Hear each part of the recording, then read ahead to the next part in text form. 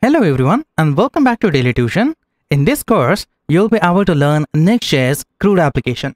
I'm going to make this employee management system to create, read, update and delete records. You are about to learn how you can create this beautiful application with Next.js and Redux. We are using Redux library to share the data between different components. As well as we are using React query to fetch the data from the backend and cache that data. We're also going to make our own middleware and create a MongoDB connection and store all the records in the database. So let me first demonstrate this application. I'm going to first create the title, employee management, and inside that we have here a table. Inside this table, we only have one record. Let's suppose that we want to create another record here. So we create add employee button. When we click on it, you'll have here a form that will allows you to insert a new record inside a database. You can see the default active check to this form. You can easily change this default check if you want. Now let me specify the first name to the employee, the last name, then I'm going to specify the email, and then I'm going to specify his salary in numbers. And then I'm going to choose his birthday. So let's suppose if I choose his birthday, and then I'm going to leave this active as it is. When I click on the add button, you can see you're going to get here a message added successfully. And then you're going to have here your new user with a new profile icon we are adding this profile icon randomly. If you want, you can choose your own profile icon as well. Now, let me add one more record here. I'm going to click on this add employee. This will remove this form. And if you click on the add employee again, you will get your new form. Let's suppose if I specify the first name, the last name, then I'm going to specify the email and the salary. And I'm going to choose the random date. And this time, instead of active, I'm going to choose inactive status. When I click on the add button, you can see I'm going to have this message and we have the inactive user here. Now what if you want to update this data? You can just click on this button right here. You can see we have the update button here. Let's suppose that I want to update the second employee. I'm going to click on this update button. When you click on it, you will get your form and now you can update any value from this form. Let's suppose if I change this salary to 20,000 and I'm going to change the status as well to inactive. When I click on the update button, you can see the salary and the status is now changed. Now, what if I want to change the status of this third record? I'm going to click on this update button and now I can choose and change its status. I'm going to active this user. So I'm going to click on this active and click on the update button. You can see now the third user is active. Now, what if you want to delete this data? If you want to delete your data, you can easily click on this delete button. When you click on it, application will ask you a question. Are you sure you want to delete this data? If you click on no, it will do nothing. But if you click on yes, it's going to delete this data from the MongoDB database. So this is what we are going to create in this project. This looks easy, but when you start building this application, it will add more challenges. I hope you will learn many new concepts from this application. So before wasting your too much time, let's get started. So I'm going to open the Visual Studio Code, which is right now the most popular editor. And inside this, I'm going to open an empty folder. I'm going to name this empty folder project. Inside this project directory, I'm going to create a new Next.js application. So let me first open the terminal. So you can see we are already in the project directory. So now here I'm going to create a new project. To create a new Next.js project, you have to say npx create next app and then you specify the app name. I'm going to choose app name CRUD underscore app. So when I press enter, this is going to create a new Next.js application inside this project directory. It will take about a minute to create this complete project. Once you have your project, you have to first enter into your project directory. So just specify here cd, then specify the project name, CRUD app, and here you need to say npm run dev. And this is going to start the development server on localhost 3000. When you click on this link, you can see you're going to have your Next.js application. Now, what I want, I want to set up the Tailwind CSS in this project so we can easily style all the HTML elements. So I'm going to open a new tab. I'm going to search for Tailwind CSS and click on this first website. Here, I'm going to have the tailwindcss.com. Just click on the get started, choose the framework guide, and then choose the next Next.js.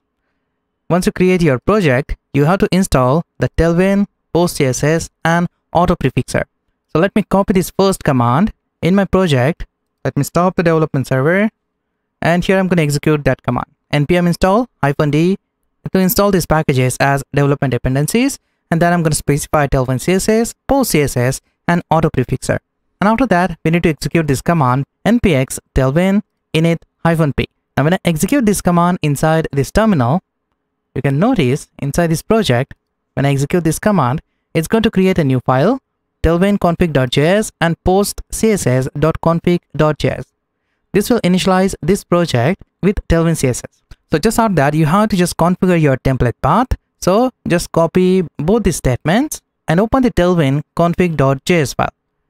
Here inside this content right here, you have to specify both that statements, something like this. So we are just informing Next.js that we might have JS, TS, JSX and TSX files inside the pages and the component folder. So using that file, we are using the Tailwind CSS in the project. Once you've done that, just save the changes, close this file, back to the project and you have to just add these three directives inside your global.css file. Back to your project and inside the styles folder right here, you're going to have your globals.css file. Just specify all these three directives right up. So you will have all the Tailwind built-in classes inside your Next.js project. Back to the Tailwind and now you have to just execute a command called npm run dev. So I'm going to back to the terminal here. I'm going to execute npm run dev. So this will just start the development server. You can see I'm going to have the Next.js project with Tailwind configuration. You can just add this statement and check your Tailwind is successfully initialized or not. So you just have to back to the pages folder, open the index.js, get rid of all this code right from here.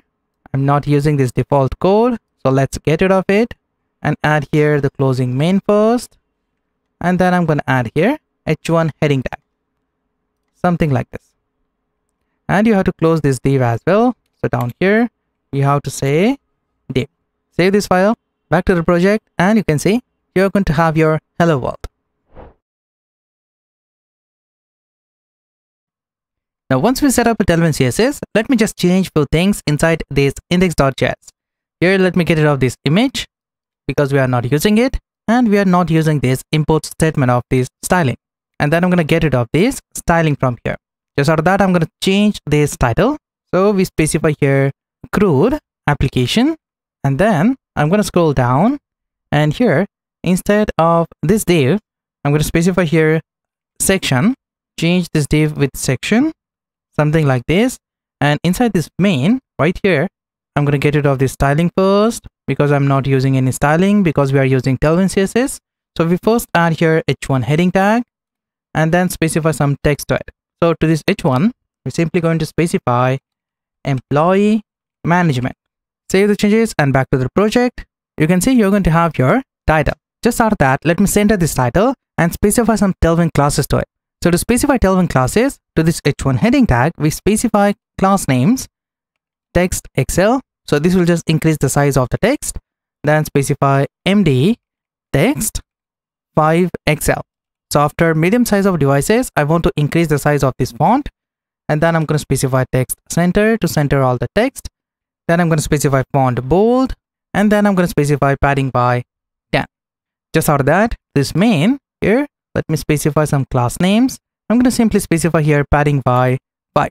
So this will just add top and bottom padding to this main section. Back to my project and now you can see I'm going to have the result something like this. Now what I want, I want to change this font family. So I'm going to search for Google font and click on this googlepont.com website. I'm going to search for my favorite font which is Poppins. You can choose any font that you like and then I'm going to choose the regular styling. So let's choose this regular 400 and I'm going to choose this import statement. Let's copy this import styling and in the project you have to paste that import statement inside a global file. So right up here you have to paste that import statement. Just for that let me get rid of this HTML and body and right here I'm going to say select all the elements and select all the descendant elements and then specify font family poppins so let me copy this font family and then specify that here. So we are just specifying only the Poppins font family to all the elements of HTML. Save this file, back to the project and you can see I'm going to have my Poppins font family to the text. Let me just zoom this out a little bit. Just after that, close this global file and inside this main, right down here, just out of this h1 heading tag, right down here, I'm going to create a container, the Tailwind container class, and then specify here mx auto. So this will just center this division tag, and then I'm going to specify flex, justify between, and then I'm going to specify padding by 5. So this will add top and bottom padding, and border is going to be bottom. So this will add only bottom border to this div. Inside this div, right here, I'm going to create a div with the class left. So this will just specify this division tag on the left side. And then I'm going to specify here flex. Gap is going to be 3. So this is going to add a gap between all the flex item. So inside this div right here, I'm going to add my button. So let's add here a button. To this button, we specify text, add employee. Just of that, let me add some classes to it to specify styling. So to this button, we specify flex. Let me just toggle this window on the right side. So you will see everything clearly. So this is the button. So we specify first flex. Then I'm going to specify BG indigo 500. This will specify background color to this button. Then specify text white. After that, we specify padding X4. So this will add left and right padding and padding by 2. This will add top and bottom padding. Then I'm going to specify border. After that, I'm going to specify rounded MD. So this will specify border radius to this button like this. And then I'm going to add here hover effect. The hover is going to be BG gray 50 and hover border is going to be indigo 500 as well as I'm going to say hover text is going to be indigo 500 let me change this color to gray 800 so when you hover on this button you will get this gray 800 color to this text so this is a very simple add employee button now just out of this div right down here I'm going to create the collapsible form and after that I'm going to create my table. So we'll look at that later. Just for now, to this add button, let me add an icon. So let me first save the changes, open a new tab and search for React icons. I'm going to click on this React icon website and from here you can choose any icon you like. I'm choosing this box icon. So we need to first install React icons. So just copy this statement, back to the project, open the terminal, clear the screen and execute a command called npm install react icons. When you press enter, you'll have this library inside your project. Just out of that, once you have that, you have to use that icon. So to use that icon, you need to first import that icon using the import statement and then use that as a, a component inside your React application. At the top, right up here, you have to say import. In the object, you specify the icon name from in the single quote, you specify React icons. And from the React icons, you specify the icon name inside these curly braces. So if you're back to the box icons, here you can see you have different icons here. What I want, I want to get the plus icon. You can see when I scroll down, here I'm to have the user plus icon. I'm just going to click over this icon. This will just copy icon name and then I can specify that icon name inside these curly braces. Something like this. Just copy this icon name and here I'm going to paste that and create a component. So I'm going to press tab. Now what you have to do is because you're using box icons, you have to import these icons from the BI directory. So just copy this import statement and specify that right up here. Replace this icon name with your icon. Save this file back to the project and reload it. You can see you're going to have your icon here. Now, just out of that, if you want, you can specify the size to this icon. So just back to your project and specify here size. So just specify here 23. So this is a 23 pixel size for this icon. You can see I'm going to have my icon here. If I want to add some space, I can easily do that by wrapping this icon inside a span tag. I'm going to say here span, specify class name here, padding x1, and then paste my icon. Save this file back to the project and you can see I'm going to have my icon inside this add employee button. Now, if you want to follow along with me from this section, you can easily do that with git branches. You have to switch your main branch into section 1. To switch that, you specify a command called git switch and then specify the branch name 01 and press tab. you're going to have your branch name. When you press enter, you're in the section 1 branch.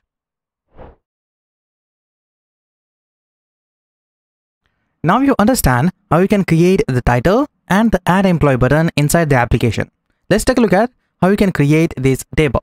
Here inside my project, let me first create a new folder inside this CRUD app.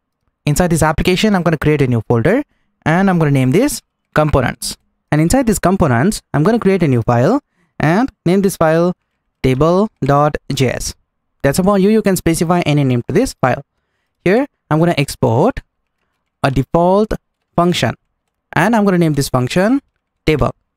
In this function, I'm going to simply return JSX. Inside the return statement, I'm going to create a table. So we call the HTML element table. And to this table, we specify some tailwind classes. First is minimum width, which is going to be full. Then specify the table auto, the tailwind CSS class. And inside this, we have table head. In inside this t head, we have different fields of the records. Just down here, just out of this table head, we are going to have the table body. You all know this is a very simple syntax of table. Now inside this table head, to add a new field, you have to create a new row and inside that row, you have different fields. So you first add table row. This is going to create a new row and inside this row, we have here table data. So inside this th, we create a span tag and specify name text.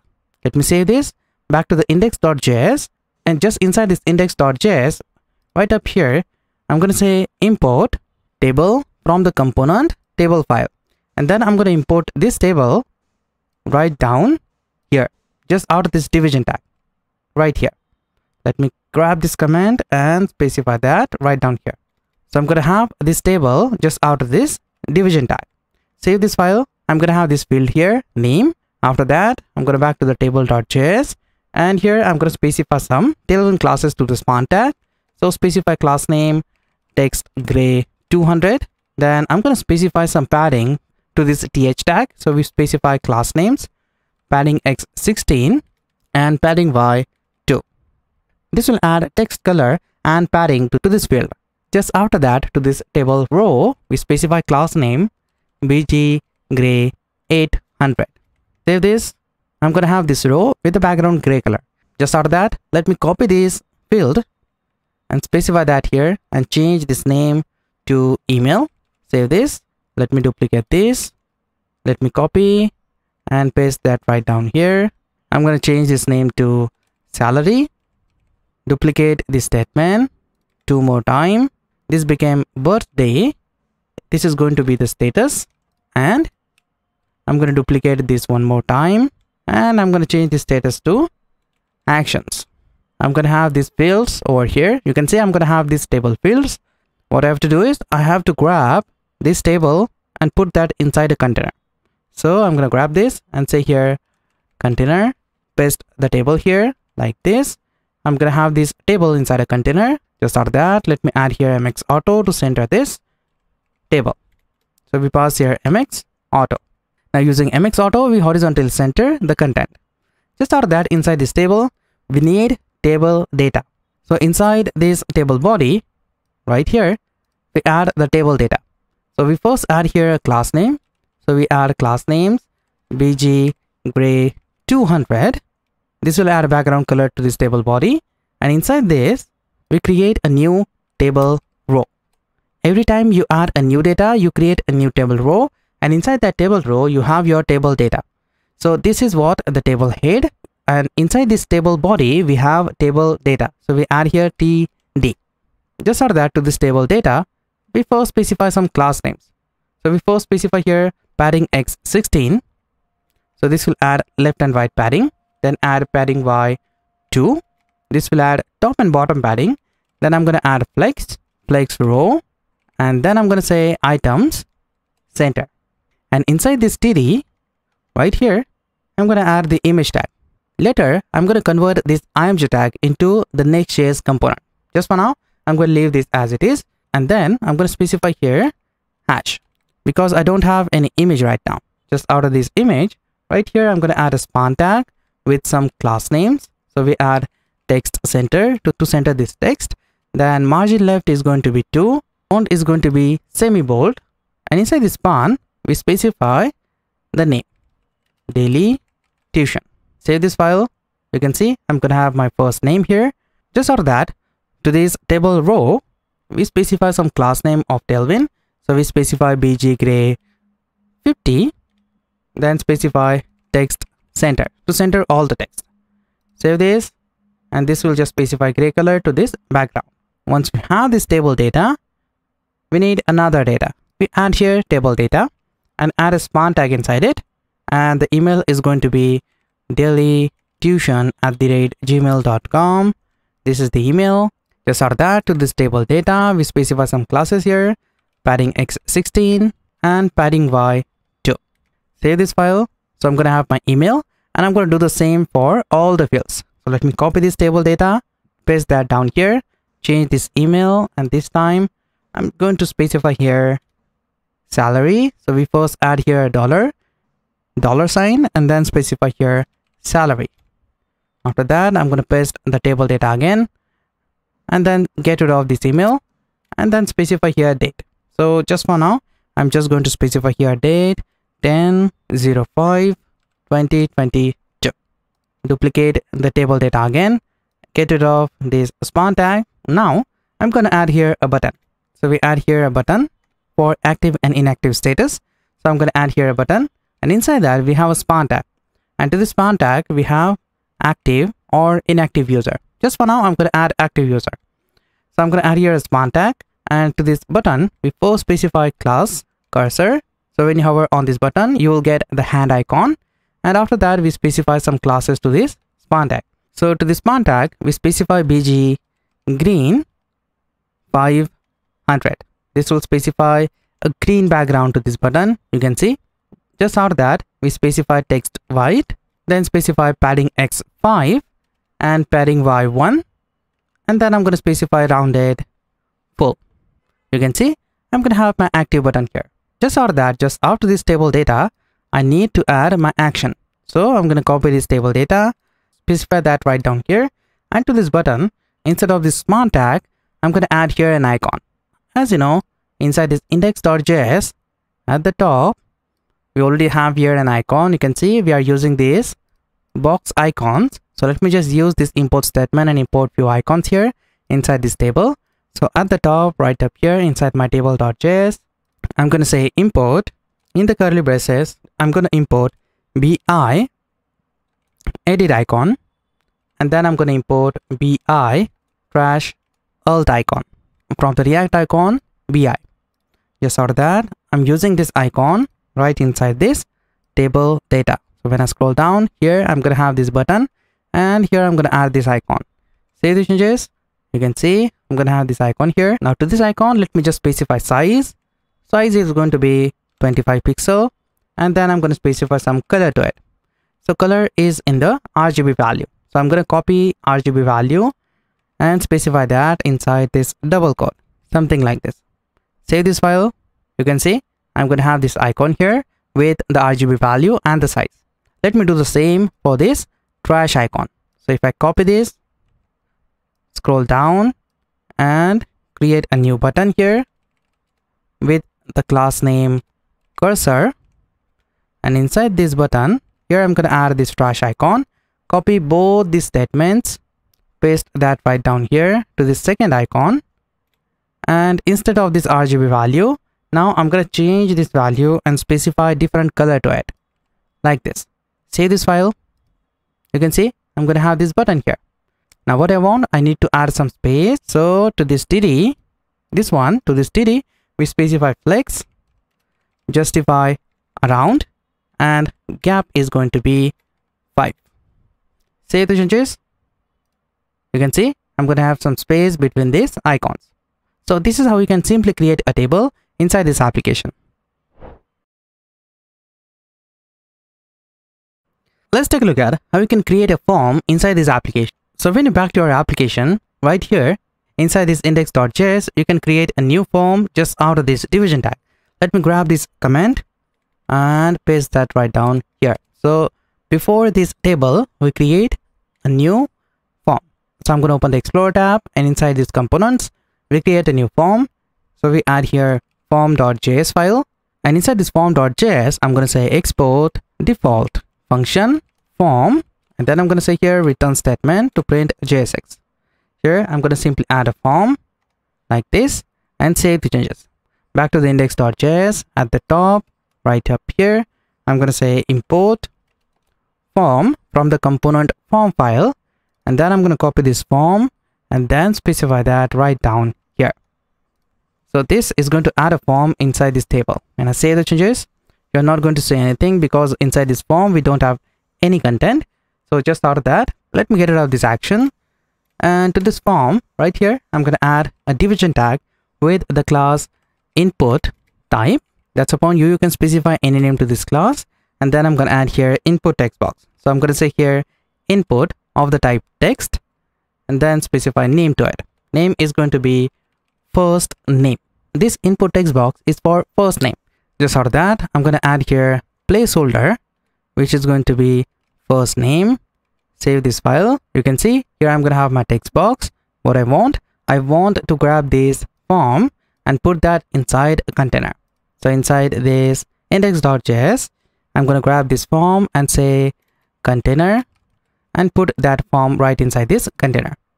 Just out of that, once I have this form inside a container, I'm going to say mx auto to center this container. Now I'm going to have my form center at the document. After that, I'm going to open the form.js. Just out of that, once we have the input text box, let me specify some classes to it. So here I'm going to specify class names. So I'm going to first specify border to it. So we specify here border, then specify width is going to be full then add padding x5 so this will add left and right padding and add top and bottom padding 3 then add focus. Focus is going to be on the outline. So when you focus on the input text box i'm going to specify outline none. So you will not going to get any gray border to this input text box. Just out of that we specify here rounded md save this. You can see i'm going to have this input text box here just of that, I'm going to create another input text box. So let me copy this input text box, paste that right down here and change this placeholder to last name. Save this. This will add another input text box. You can see. Now, just out of that, what I want, I want to grab this input text box and put that inside a dedicated division tag. So I'm going to grab this input text box, create here div right down here with input type class and then specify my input text box here. Something like this. Save this. Just out of that. Let me copy this div. Paste that right down here. And this text box is now for email. So we pass here email. Then i'm going to duplicate this div. Copy and paste it again. And this time this is for salary. So we pass here salary. Just out of that. Let me save the changes. So here i'm going to have four text boxes. After this div right down here I'm going to add here active status radio buttons. So I'm going to add here a div and inside this div, we have another div for form check. So we add here another div with the class form check. And inside this div, we have an input type radio and then specify name to it. Name is going to be status. Save this file. You can see we have this radio button here. Just of that, we specify some classes to this input text box so we specify here class names, form check, input, appearance, none, rounded is going to be full, then specify height which is going to be 4 and width is going to be 4. Then I'm going to specify border to it. So we pass here border class, something like this. So when I save the changes, you will get the result something like this. Just out of that, I'm going to specify border gray 300 just of that i'm going to add here bg white. So background color is going to be white. Then i'm going to say here checked. If the user click on this radio button if it is checked then we specify bg green 500 just out of that we specify checked border green 500 we also going to specify green border when the user click on the button. So we pass here border green 500 after that we specify focus. Focus is going to be outline none so i'm going to just remove the outline when the user focus on this radio button just out of that i'm going to add transition and add a duration duration is going to be 200 millisecond. After that, I'm going to add margin top 1, align top, BG no repeat. Then I'm going to add BG center, BG content, float left, margin right 2, and cursor pointer. So there is lots of classes we specify to this radio button. If you want, you can grab all these classes and specify that in the global.css file. That's upon you. So once we have this radio button, to this radio button, we specify value. Value is going to be active. This is the active radio button. Then I'm going to specify ID and ID is going to be radio default 1. So this is the default ID to this radio button. Just out of that, just out of this input text box, right down here, we add a label and this label is for this radio button. So we copy this radio ID and specify that inside this htmlFor right here. And this label is for active, for active users. You can see you have the result like this. Just out of that, to this label, we specify some tailwind classes. So classes is going to be inline block, text gray 800 and save the changes. That's it. So we have this active user. So let me copy this division tag, this one, and specify that right down here. And this is the inactive user. So I'm going to say inactive. Save this file. You can see we have this inactive user. I'm going to change this ID to radio button 2. Copy this, paste that here and change this value to inactive. Something like this. So now you can switch between these radio buttons. Now just of that, just out of this div right down here, inside this form, we have a button to submit this form. So we add here a button with the text add. Save this file. So we have here a button. Let me specify some classes to it. So class names is going to be flex. Then I'm going to specify justify center, text MD. Width is going to be 2 by 6. So this will add 33% width to this button. After that, we specify BG green 500. Just after that, we specify text white, padding X4 and padding Y2. So this will add top, bottom, left and right padding. After that, we specify some border, then specify rounded MD. And after that, we specify hover effect. So we pass here hover, BG gray 50 and hover border green 500 text green 500 let me save this. When I hover on this button you can see I'm gonna have this result. Just after that at the end I want to align this form properly. So what we need to do is to this form right here we specify class names. So class names is going to be grid we specify grid layout to this form. Just after that we specify lg grid cols 2 i want two columns to this grid so we pass here grid cols 2 save the changes. I'm gonna have the result something like this. Just out of these cols. I'm gonna say width 4 by 6 so this will add a 66 percent width to this grid just out of that. I'm going to specify gap which is going to be 4 here i'm going to have the result what i want. Just out of that. I also want the date input text box. Right down here i'm going to add this input text box but before that let me change this name. This is for salary. This is for email. And i'm going to copy this division tag paste that right down here. This is for date. And then i'm going to specify here input type date.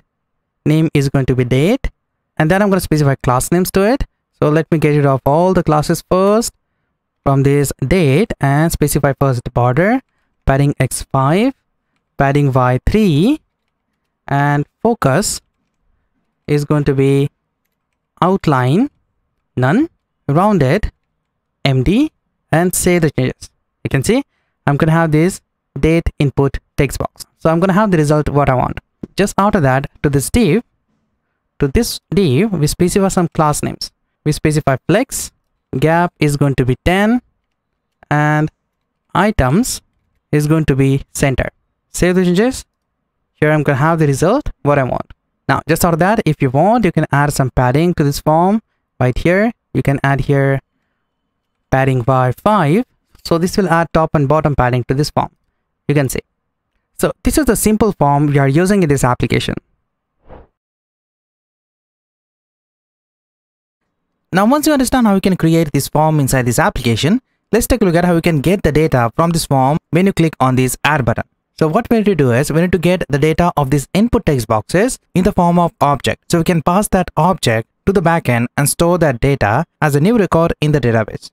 So I'm going to back to the project and here inside this form, I'm going to grab the data of these input text boxes and return as an object. There are different ways you can get the data from the form using React State or using use reducer or using some external libraries. Here in this project, I'm using use reducer hook. Use reducer hook allows you to get the data from the form very easily.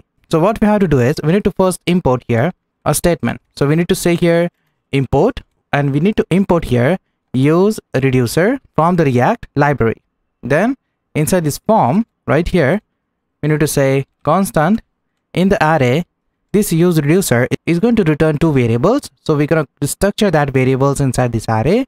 So here I'm going to say use reducer and this reducer hook is going to take two arguments. First is the reducer function and second is the initial state. The hook then return an array of two items, the current state and the dispatch function. So I'm going to pass here a function like this and as a second argument you need to specify the initial value of this reducer.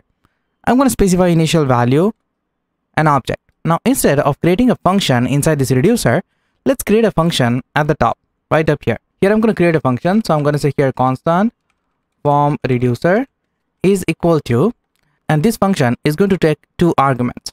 First is a state and second is event. Inside the state variable, you get the previous state and inside this event, you have the current dispatch function value. Don't forget to specify here an arrow like this and then I'm going to pass this reducer function right here, something like this. Just so that this function is going to return an array of two items. We are going to destructure that values in, inside this array. So here I'm going to say form data and set form data.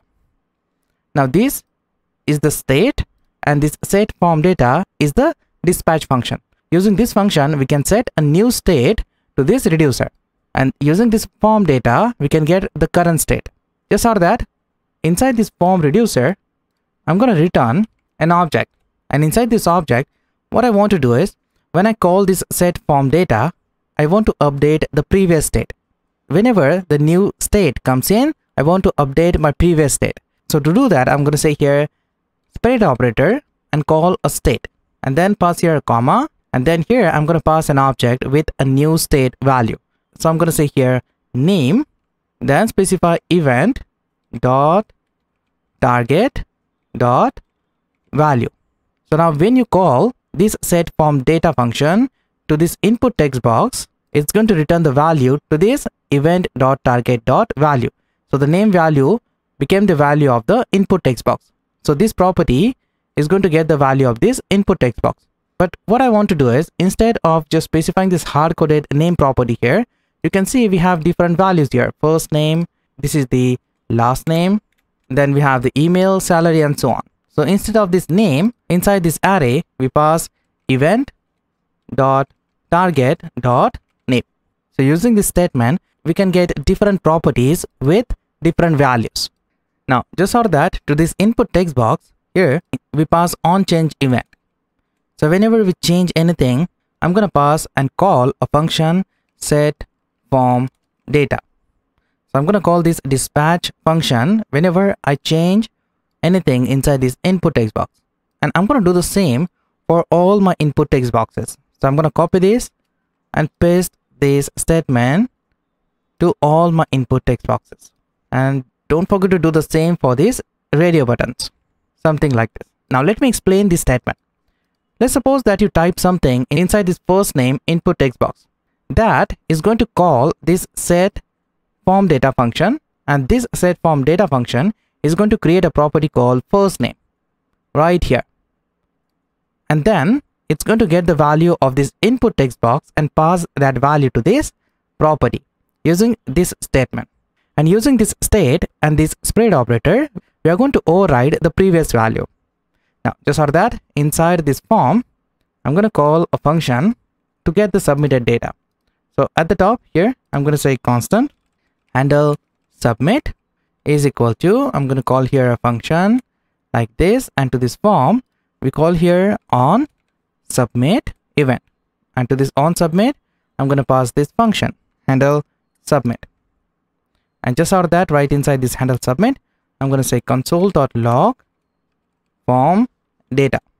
Save the changes, back to the project and open the console, reload the browser. And now when I type something here, let's suppose if I type daily tuition and I'm going to pass the email and here is the salary. When I click on this add button, you can see I'm going to get my data here and the form quickly reload. This is because this is the default behavior of the form. So we need to solve this problem by adding here the event parameter and call here event.prevent default. So by adding this function, you can prevent the default behavior of the form. And now when I click on this add button, you can see right now you're not going to get anything because this is the initial state of this form. Let me reload the browser and add something here. Daily tuition, email and salary. When I click on the add button, you can see you're going to get the data as a response. You can see you're only going to have four properties here because you only change four input text boxes. Let's suppose if I change this date and this active user. When I click on the add button, now inside this object, I can get the status and the date as well. Now just for that, let me add an icon here to this add button. So scroll down to this button right here. I'm going to add an icon. So let me first add here add and in the span tag, I'm going to add an icon. So let me first import the icon at the top here. I'm going to say import bi plus from react icons bi and I'm going to use this box plus icon inside this span tag. Don't forget to change the style. So I'm going to say size 24 pixel and to the span tag, I'm going to specify class padding x1. This will add space between this text and this icon. So this is how you can simply get the data from the form. Let's suppose the user try to submit the empty form. If the user click on this add button, this is going to return the empty object. What I want to do is if the user try to submit the empty object or without submitting any data, I want to return a console message. Here, I'm going to say if we don't have form data, so I'm going to pass here form data and pass here exclamation mark. Then I'm going to return console.log with the message don't have form data. Back to the project, reload it, and when I click on the add button, I'm still going to get the same result. This is because this statement is not equal to null or undefined. To check the object is empty or not, you have to call here an object.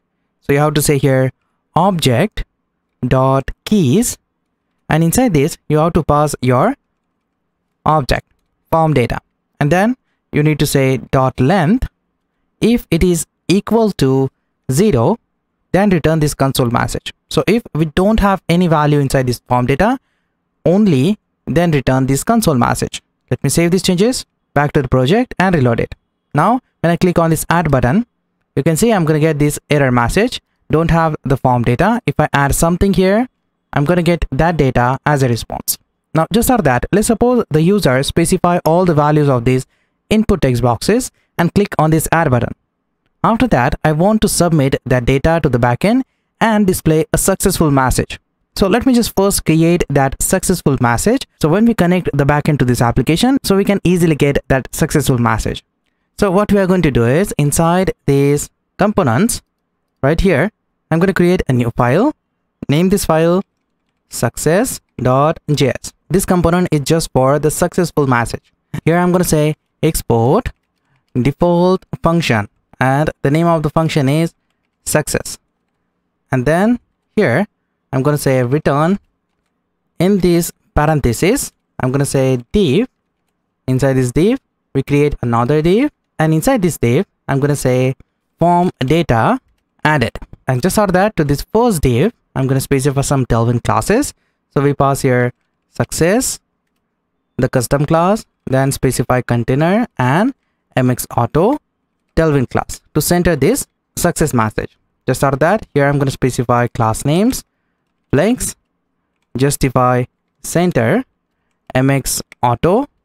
Then i'm going to specify border then specify border colors. So we pass border yellow 200 then specify background color yellow 400 then specify width.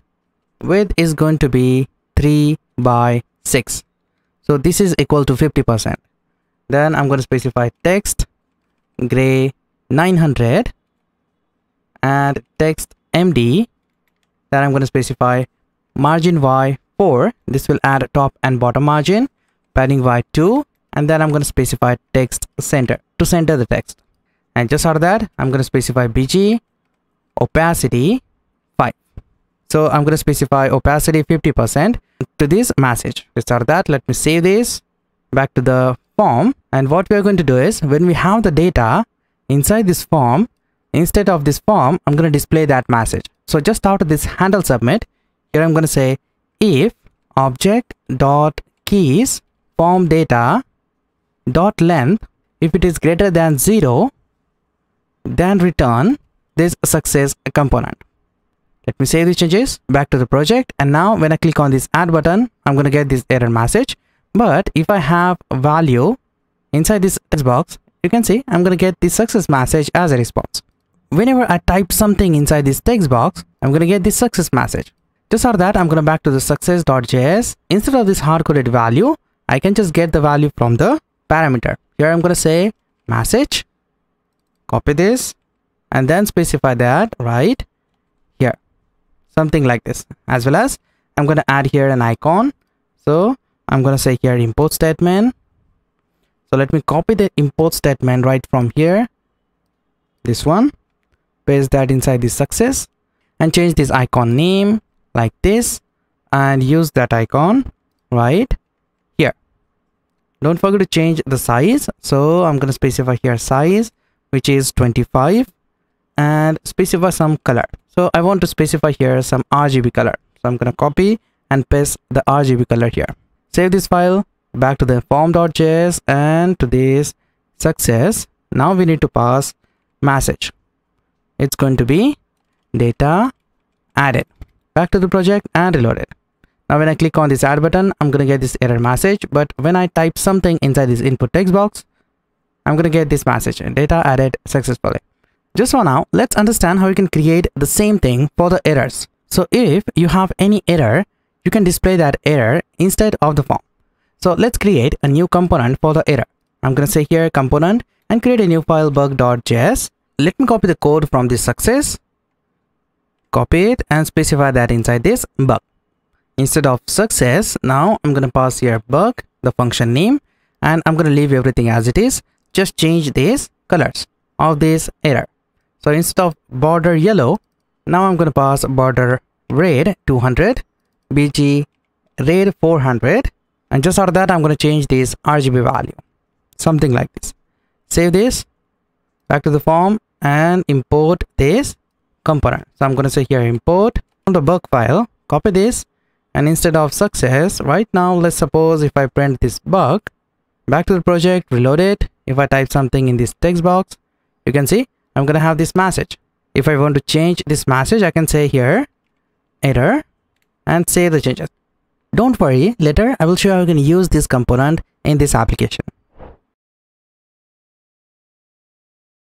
Now, let's make this form collapsible and create another form to update the data of the employee. So when you click on this add employee button, we are going to display this form, create a new employee and when the user click on this update button, I'm going to display the update form with the employee value inside these text boxes. So I'm going to just back to the form.js and inside this component i'm going to create two files. First for the add user. And so i'm going to name this file add user form.js and i'm going to create another file and name this update user form.js now i'm going to copy all the code of this form and paste that inside both these files. Now inside this form instead of all this data now I can get this data from this add and this update form.js file. and I'm going to get rid of all the code from this form and get rid of this form reducer. Something like this. Now inside this form just for now I'm going to return this add user form. So let me just change this name of this default function. I'm going to say here add user form let me copy this and change this name as well. This became update user form. Save this file back to the add user form. Save this file back to the form. And here let me get rid of all this import statement. And here i'm going to say import add user form. And then i'm going to copy this component. And inside the return statement i'm just going to return that component. Something like this you'll have the same result. Back to the index.js right up here. So if you create here constant i'm going to say visible set visible is equal to use state. I'm going to call the react hook use state from the react library. So when i press enter this will import this statement. And now i'm going to call this hook. And the default value of this hook is false. Just for that i'm using this visible property to toggle the form this one. So i'm going to grab this form and specify that inside a curly braces. And here i'm going to say visible. If it is true then display this form. Otherwise don't want to display anything. So i'm just going to return here empty element.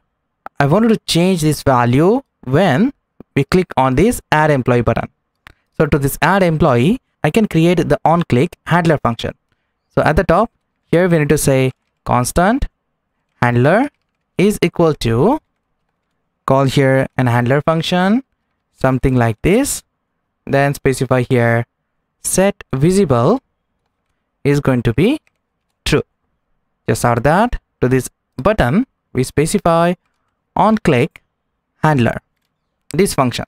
So when you click on this add employee button you'll get your form back to the project and now when you click on this add employee you can see you're going to get your form but now what if i click on this add employee again this is not going to do anything this is because we set this value to true. Now what I want when the value of this state is true and then if I click on the add employee button, I want to make this value false. So we can easily hide the form from the UI. So to do that, here inside this set visible, you can simply say here visible. If it is true, then return false or return true. Back to the project and click on the add employee. You can see I can toggle this form. This statement is a valid statement, but you can simplify this statement by adding exclamation mark to this visible. So instead of this statement, you can simply say here visible and before this visible, you add exclamation mark, something like this. And now when you click on this add employee, you'll get the same result. Let's do the same thing for update form. So I'm going to back to the form.js and here I'm going to create a simple variable. I'm going to say constant flag is equal to true. The default value of this flag is true right now. I'm going to change this flag value later in this course. Just for now, I'm going to leave these as it is. And here I'm going to say return. Now, when the flag is true, I want to display the add user form. Otherwise, display this update user form. So inside this return statement, I'm going to create the wrapper first. So I'm going to grab this division tag right from here, this one, this container, grab it and specify that inside this form something like this and get rid of this division tag right from here. So you only have the form inside this index file. Save this file back to the form and here you have to say if the flag is true then I'm going to print this add user form or you can self close this component like this and then if this flag is false I'm going to import and display the update user form. So I'm going to copy this and paste that right here. Both forms are identical. So let me change a few things from the update form. So I'm going to back to the update form, scroll down and instead of this add button, right now I'm going to change this to update. Then I'm going to change this plus icon and I'm going to convert this icon to BI brush icon. This one. Don't forget to import this icon at the top. Right up here, you have to import this icon like this save this file and back to the form Now if I make this flag false, I'm going to get this update button. Let me change some styling of this update button. So I'm going to just back to the update button and here instead of BG green, I'm going to specify here yellow and this is going to be 400. Let me save this. Now you can see I'm to have this update form. Now if you change this flag to true, you'll get add employee form. So using this technique, you can toggle between update and add new user form. Now let's understand how we can get this table data from the JSON file. So when we connect the MongoDB database, we can easily get the JSON response and display all the data inside this table. So I'm going to create a new folder inside my project. Let me close all these files right from here. And then inside this project, I'm going to create a new folder and I'm going to name this folder database. And inside this database folder, I'm going to create a new file. Name this file data.json. Now this is a mimic of my backend data. Don't worry, in this project, I'm going to connect the MongoDB and get this data from the MongoDB database. Just for now, to mimic a backend server, I'm going to just copy and paste some JSON data inside this data.json file. So I'm going to create here an array of object and inside this object, we have the data of the employee. We have the employee ID, name, avatar, his email, salary, date and status. Don't worry if you want to get this data, you have to just check in inside the 07 database branch. When you check in inside this branch, you can easily get this data.json file. Now, once you get this data, just back to the table.js and here instead of these hard-coded values, I can iterate over this array of object and display all the data. So what I'm going to do is, instead of this table, I'm going to grab this table row and iterate over this array of object. So let me create a new function for that. So we can iterate over this table row. I'm going to create here a function and I'm not going to export this function. This function is useful only inside this component. So I'm just going to say here function tr means table row. And then here I'm going to say return. Inside this return statement I'm going to return the table row. So inside my table right here when I scroll down here I have the table row of this table body. I'm going to grab this and paste that inside this tr function. Something like this and don't forget to print this function right here. Here i'm going to say tr like this but if you duplicate this statement you can see you will have multiple records. Now what i want i want to iterate over this array of object and pass these values to this table. So right here in, inside this parentheses i'm going to pass all these properties. This one. The id name avatar and so on. So inside this parenthesis here i'm to call an object and then i'm to pass here first id then pass name avatar email salary date and status. I'm to have all these properties inside this data.json file. Just out of that i wanted to pass these values to this hard-coded data. So instead of this image right now i can specify here in the curly braces avatar and if this value is undefined then i'm going to return hash means return nothing. Then to this daily tuition here i'm going to return the name. So in the curly braces we pass name. And if this value is undefined or null i'm going to return unknown as a response. Just out of that i'm going to copy this do this for this email. So paste this code here and instead of name i'm going to specify here email. Do the same for the salary paste this statement. And this is for salary.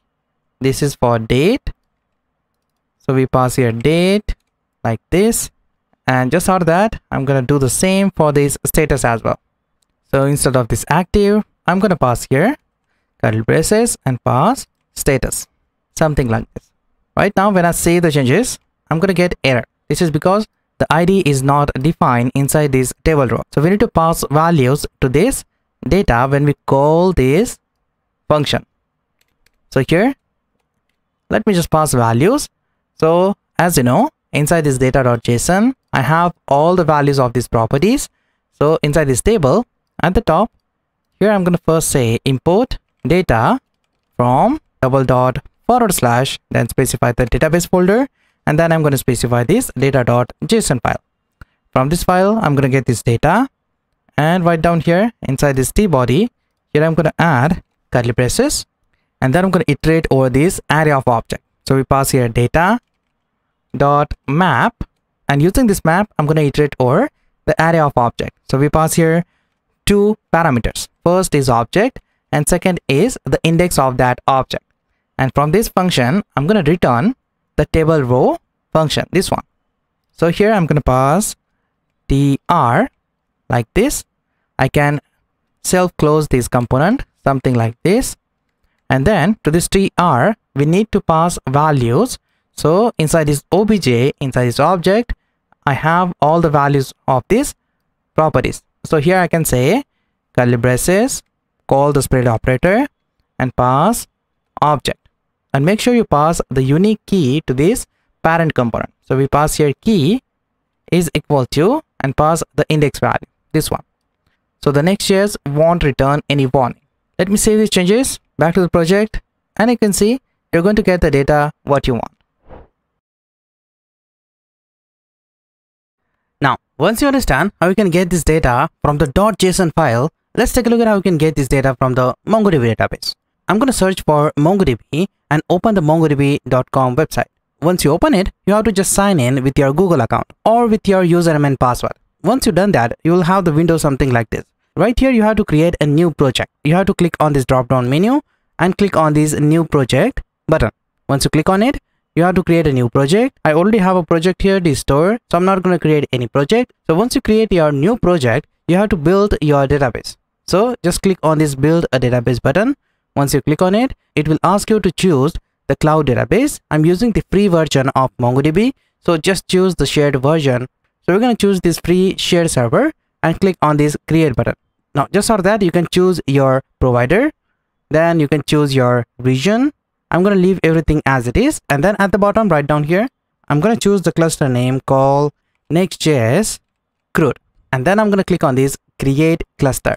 Once I click on it, this is going to create a new cluster inside this database. It will take about 3 to 5 minutes to create a new cluster.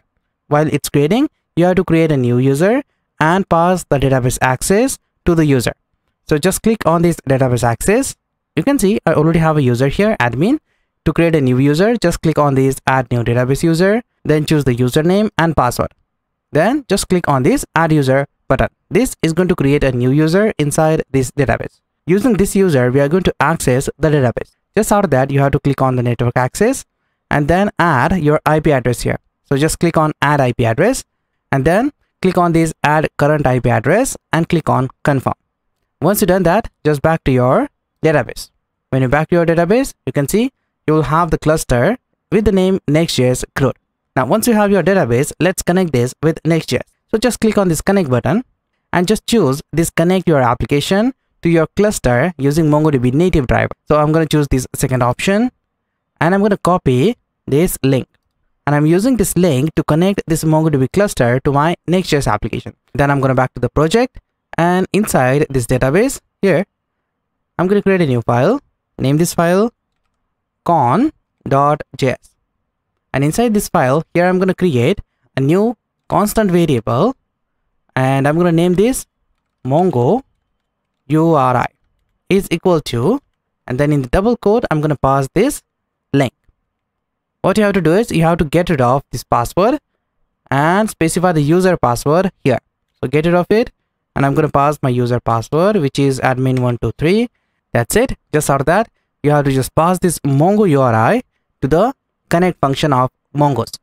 Now instead of using mongodb i'm using here mongoose driver to connect mongodb with next.js so let me first save this file. Open the terminal. Clear the screen. Here i'm going to say npm i for install hyphen d save this package as development dependency. And then i'm going to say here mongoose when i press enter this is going to install this package as development dependencies inside this next.js project. Once i have it let me just start the development server again npm run dev. This will start the development server. Just out of that right inside this connection file here i'm going to create a constant function. So i'm going to say here constant connect mongo is equal to and then I'm going to pass here async function. So we'll have the asynchronous data. just saw that you need to add here try and catch so we can catch the error as well so we pass here try and after this try we have the catch to catch the errors inside this catch we are going to return a promise with reject function so this is going to reject the promise and then i'm going to return errors with it just so that inside this try we have to connect the mongodb to the Next.js so we have to call the mongoose connect function. So at the top here i have to say import mongoose from mongoose so the mongoose library is going to return a default object called mongoose and using this you can connect your database. So i'm going to say here mongoose dot connect. This is going to return a function called connect and using this function we are going to connect the mongodb so the first thing we need to pass is the uri so inside this connect as you know at the top here we have the mongo uri so we pass here mongo uri something like this. And this is going to return the connection object. So we can get that inside a variable. So let me just pass here a constant. In the object we destructure a connection object. So we pass here connection so this statement is going to return a property called connection. I'm going to destructure it with javascript destructuring. And here i'm going to pass await so we'll have all the data asynchronous. Just saw that right down here if the connection dot ready state if it is equal to 1 then i'm going to execute this if statement. And here i'm going to say console.log database connected. And we need to call this in the api route so let me copy this. And right down here we need to just export this. So i'm going to say here export default and then specify connect mongo. So we can get this function in the other files as well. Let me save this file back to the pages. And here i have api inside this api we have a default route called hello.js right inside this i'm going to call here my connect function. So we first need to say import connect mongo from double dot forward slash and then i'm going to specify double dot forward slash again and then i'm going to specify the database and the connection file. From this i'm going to call this connect mongo function something like this. Let me save the changes back to my project and then i'm going to type here api hello. This is going to call the hello route of the nature. now i'm going to have this response. Now if you back to the terminal here you can see you have your console message database connected so now you can see we successfully connected the mongodb database with Next.js Now once we successfully connect the MongoDB with Next.js, let's take a look at how we can create this API. Now inside this API folder, we only have one API called hello.js. This file is going to create an endpoint API hello and this endpoint is going to return this data. Now what I want, I want to create the user endpoint and return all the data of the users as a response when we make a get request. As well as we need to make post, put and delete requests to manipulate that data. So inside this API folder, I'm going to create a new folder and name it users. This is going to create the endpoint path user. And inside this, I'm going to create a new file. Name this file index.js. This file is now represent the user endpoint. Means if I return something from this file, you have to call this user's endpoint to get the data of this index response. Inside this index.js, I'm going to call this export statement. So I'm going to copy this and pass this function right inside this index. And at the top here, I'm going to call this MongoDB connection. So here I'm going to say import connect Mongo from double dot forward slash double dot forward slash again and then I'm going to specify double dot forward slash. Then I'm going to select the database and the connection file. Inside this connection, I have this connect dot mongo. Now just for that, I have to make this function asynchronous. So before this function, here I'm going to say async. So this will just make this function asynchronous. Just for that, inside this function, I want to check the method. So let's suppose the user make a get request. I want to first validate that request and return a response according to that method. Let me show you what I want to say. Here I'm going to create a command and say type of requests. You all know there are different type of HTTP requests like get, post, put and delete. These are the HTTP requests. I wanted to check that if there is a get request, return a different response if it is a post request, return a different response and so on. So from this request, I can get the method object. Right down here, I can say constant in the object, I'm going to destructure a property called method from the request object. Just out of that, let me get rid of this command. And here I'm going to call the switch statement. So I'm going to say here switch method and then I'm going to pass here switch cases. So let me first add here case 1 which is if it is a get request then return this statement something like this but with this statement instead of this name i'm going to return method name so we pass here get request then i'm going to pass the method as well. So here i'm going to say method. So this object is also going to return the method name. Let me do the same for the other http request. Here i'm going to say case. If it is a post request then i'm going to return the response. So i'm going to pass here post. Let me do the same. So copy this paste it right down here. And this is a put request. So we pass here put.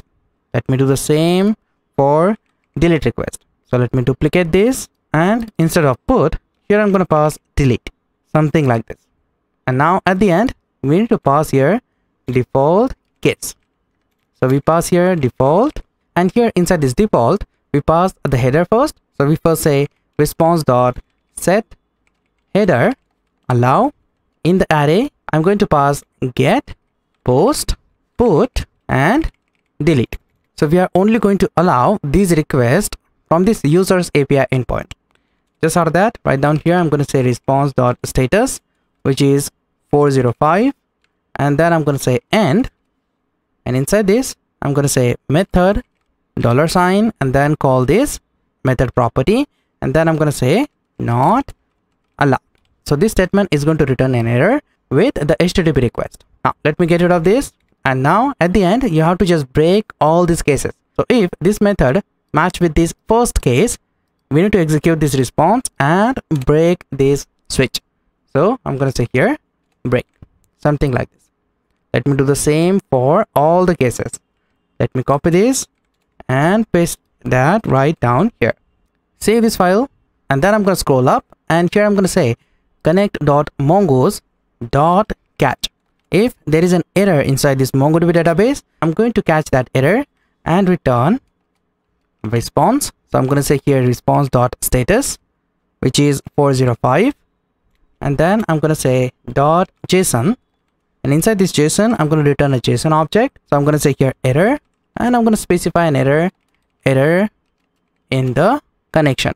So if there is an error inside a connection you will get this response from this api endpoint let me save this file and open the postman api testing tool now i'm going to open the postman api testing tool to test this api so i'm going to just first specify the localhost 3000 api users this folder name now this folder is now the API endpoint. Now when I make a get request, when I click on the send button, you can see I'm going to get a response here. Method get and name is get request.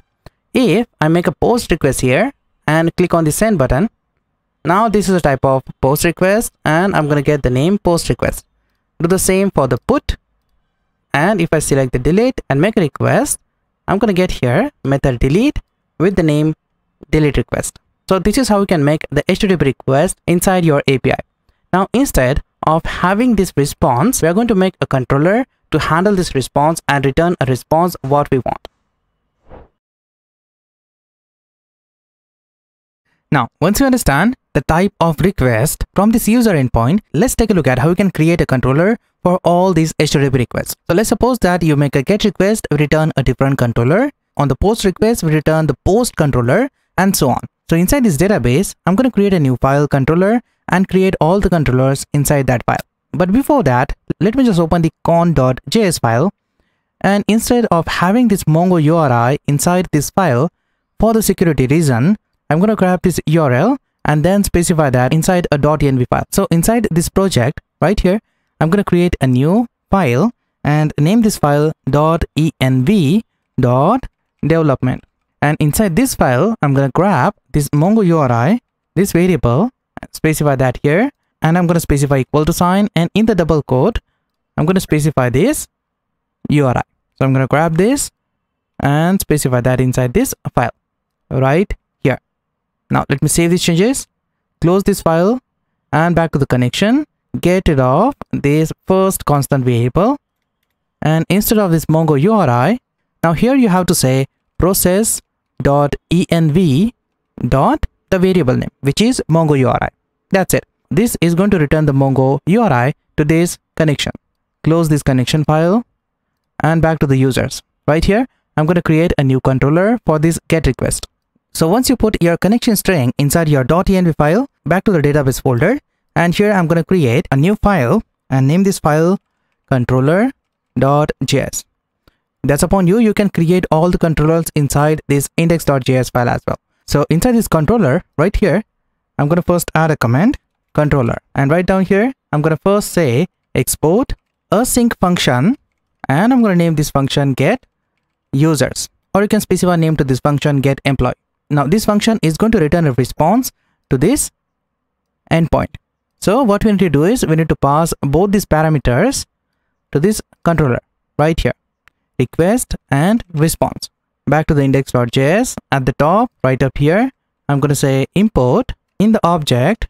I'm going to say get user from the database controller file and copy this get user and specify that right here. Something like this. And don't forget to pass request and response parameter. Now let me get rid of this statement. Save this file. Back to the controller.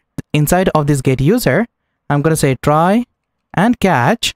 So i'm going to call here try and catch syntax. And inside the catch i'm going to say response dot status which is going to be 404 dot json. And inside the json i'm going to return error. And then i'm going to specify the error. Error while fetching data or you can specify here employee data and inside this get user i'm simply going to say response dot status 200 which is the OK status and then I'm going to say dot JSON and inside an object we pass user and just for now I'm going to say here get request. Now let me save the changes and open the Postman API testing tool and just out of that I'm going to select the get method and I'm going to make a request to localhost 3000 API users. When I click on the send button you can see I'm going to get a response user get request. Now what I want instead of getting this response, I want to get the data from the MongoDB database. So to get that, you need to create a MongoDB schema. So you need to first specify structure to your MongoDB database. So what we are going to do is inside a project, I'm going to create a new folder, name this folder model and press enter. And inside this model folder, I'm going to create a new file and specify name to it user.js. And here I'm going to create the MongoDB schema. So what we need to do is inside this file, we need to specify the structure of the document. You have to first import few objects here from Mongoose library. So we need to say here Mongoose. And from Mongoose, you need to import schema, the schema class. Then you need to import models and then you need to import model. We imported models and model from this Mongoose. Don't try to confuse with these variables. Just are that? Here i'm going to say constant. User schema is equal to and then we need to create a new object or you can say a new instance of a schema class. And inside this you need to specify the structure to the document. So inside an object we specify first name. Inside this name we specify the user full name. So we pass the type of it which is string the type of data we are storing inside this name property is string then i'm going to say avatar. Inside this avatar, I'm also going to ins insert a type of string data. Then I'm going to specify here email, which is a type of string. Then I'm going to specify salary, which is a type of number. Then I'm going to add here date. Date is a type of string and status. And this is also a type of string. So this is a simple structure of my MongoDB document. Now, just out that, with this structure, you have to create a new model in MongoDB. To create that, you need to say model variable and then inside the parentheses, you need to specify the name for this model. I'm going to specify name user. And then you need to specify structure as a second argument. So we pass here user schema here. This one. So this statement is going to create a new model inside a MongoDB. Now, what if you already have the existing model in the MongoDB database? In that case, you can specify here models, this variable, dot user your model name. If we have this user model inside the mongodb database then return that or create a new model. So we pass here or. Just after that we need to store this data inside a variable. So i'm going to say constant user is equal to and then right here i'm going to say export default user. Or you can specify here users something like this. Let me save this file close this user model and inside this controller right here you need to import that. So here i'm going to say import user users from single quote double dot forward slash then specify the model folder and then specify the user.js file and using these users you can access the mongodb database. So right inside this try here i'm going to say constant users is equal to user this mongodb schema and then i'm going to say dot find. Now this find method is going to find all the document from this user document. So here inside this you need to pass empty object. So this is going to return all the documents as a response. And now we need to specify here await.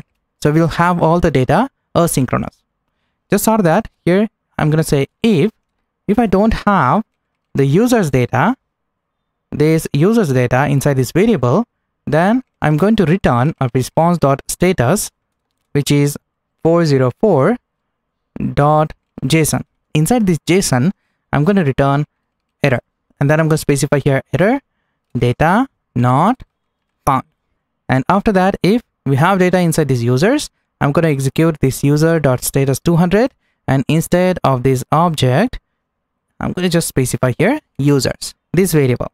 Save this file open the postman api testing tool and click on the send button. Now when i make a request you can see i'm going to get an array as a response. This is because inside my mongodb database i don't have any record. That is why it's going to return the empty array.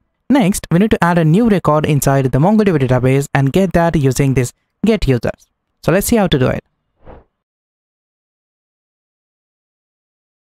Now, once you understand how you can get the data from the MongoDB database using this get user controller, let's take a look at how we can post the data or you can say how we can create a new employee. So just before this function, let me specify the endpoint path right here and right down here, I'm going to do the same and specify the endpoint path and this is a type of post request. So I'm going to say here post and I'm going to make a request to these users. Just down here, I'm going to create a controller. So I'm going to say here export async function. The function name is post user.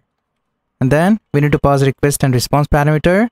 And inside this function here, we need to add first try and catch block to try and catch the errors.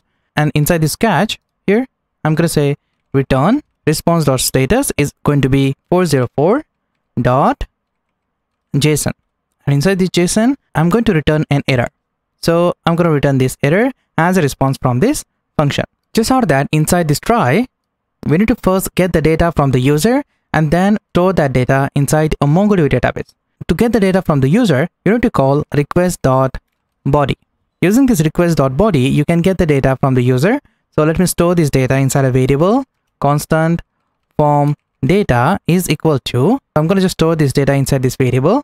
And then right down here I'm going to say if if I don't have this form data then I'm going to return a response so I'm going to say here return response dot status which is going to be 404 dot json and inside this json I'm going to return a response so we pass here error form data not provided. That's upon you, you can specify any error inside this response. Just out of that, if we have data, then we can say here users, this user object dot create. This create method is going to create a new user and store that in the MongoDB database. This method is going to have two parameters. First is the form data or you can say the post data and second is the callback function. So as a first parameter, we pass form data, this variable, and as a second parameter, we pass a function. So we call here a function like this, and to this function, we can get two parameters, error and data.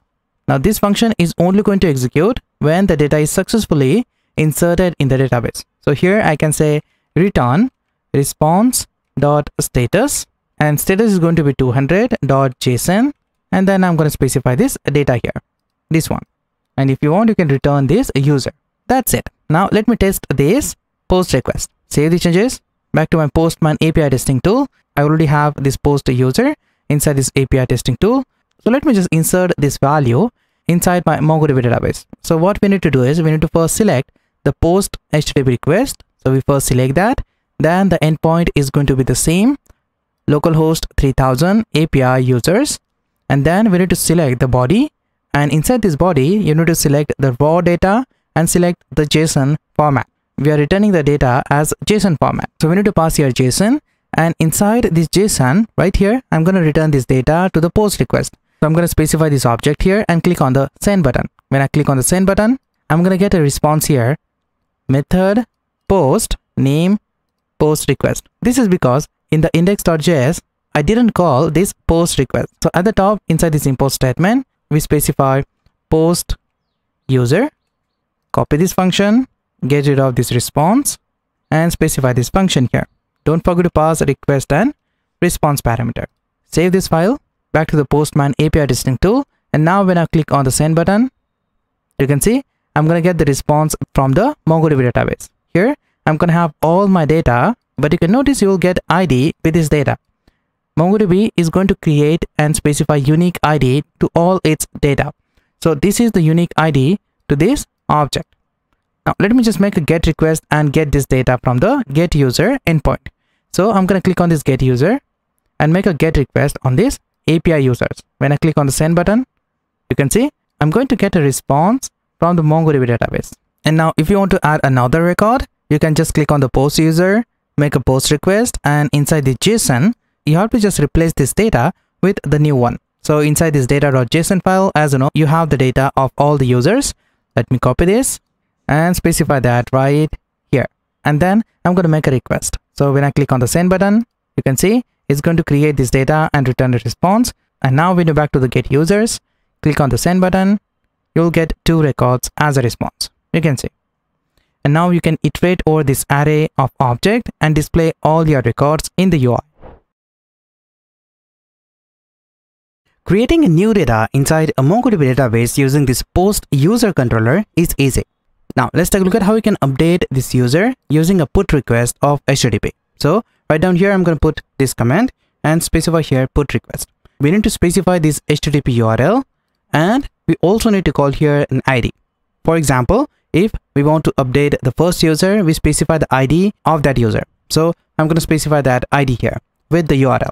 So let's create this update controller. So we need to first say here export async function and the function name is put user and we need to pass request and response parameter with this function. And then we need to add try and catch block. And inside this catch right down here i'm going to say response dot status which is going to be 404 and then i'm going to say dot json.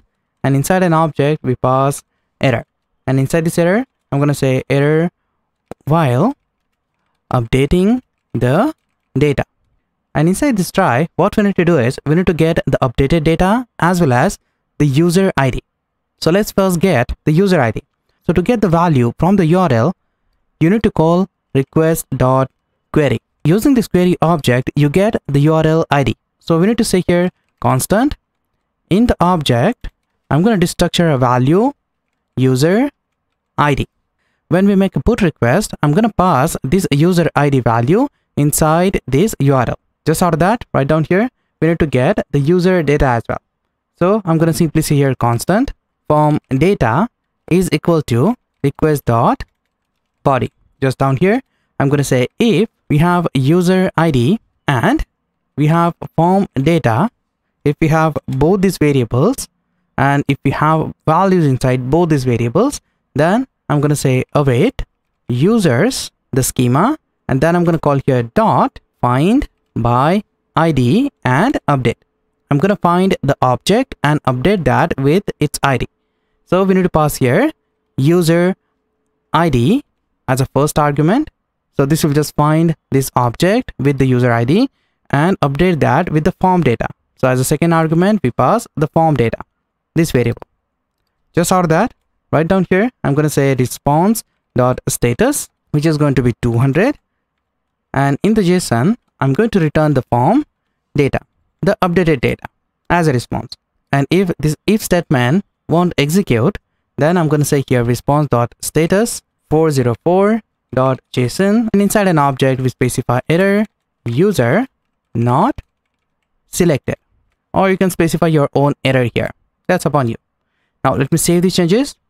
So i'm going to open the postman api testing tool and you can see inside my database i'm going to have two objects. Now let me update this second object this one so we need to copy this id and open the update user and we need to make a put request. So we select the put http request then we need to pass value to this user id so we pass here an id so we copy this second id and then pass that right here.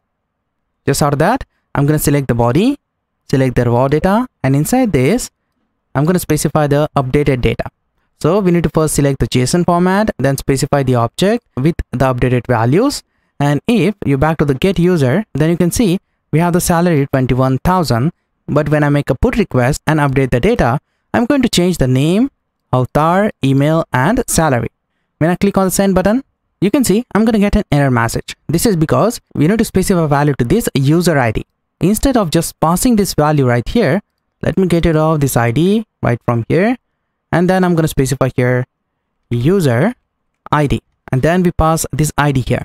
Something like this. A send request I'm going to get a response from my endpoint. So if you're back to the index.js, you can see this is a response from this put request. Now let me get rid of this and pass the put request controller here.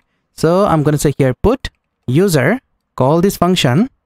So I'm going to copy this and specify that right here with request and response parameter.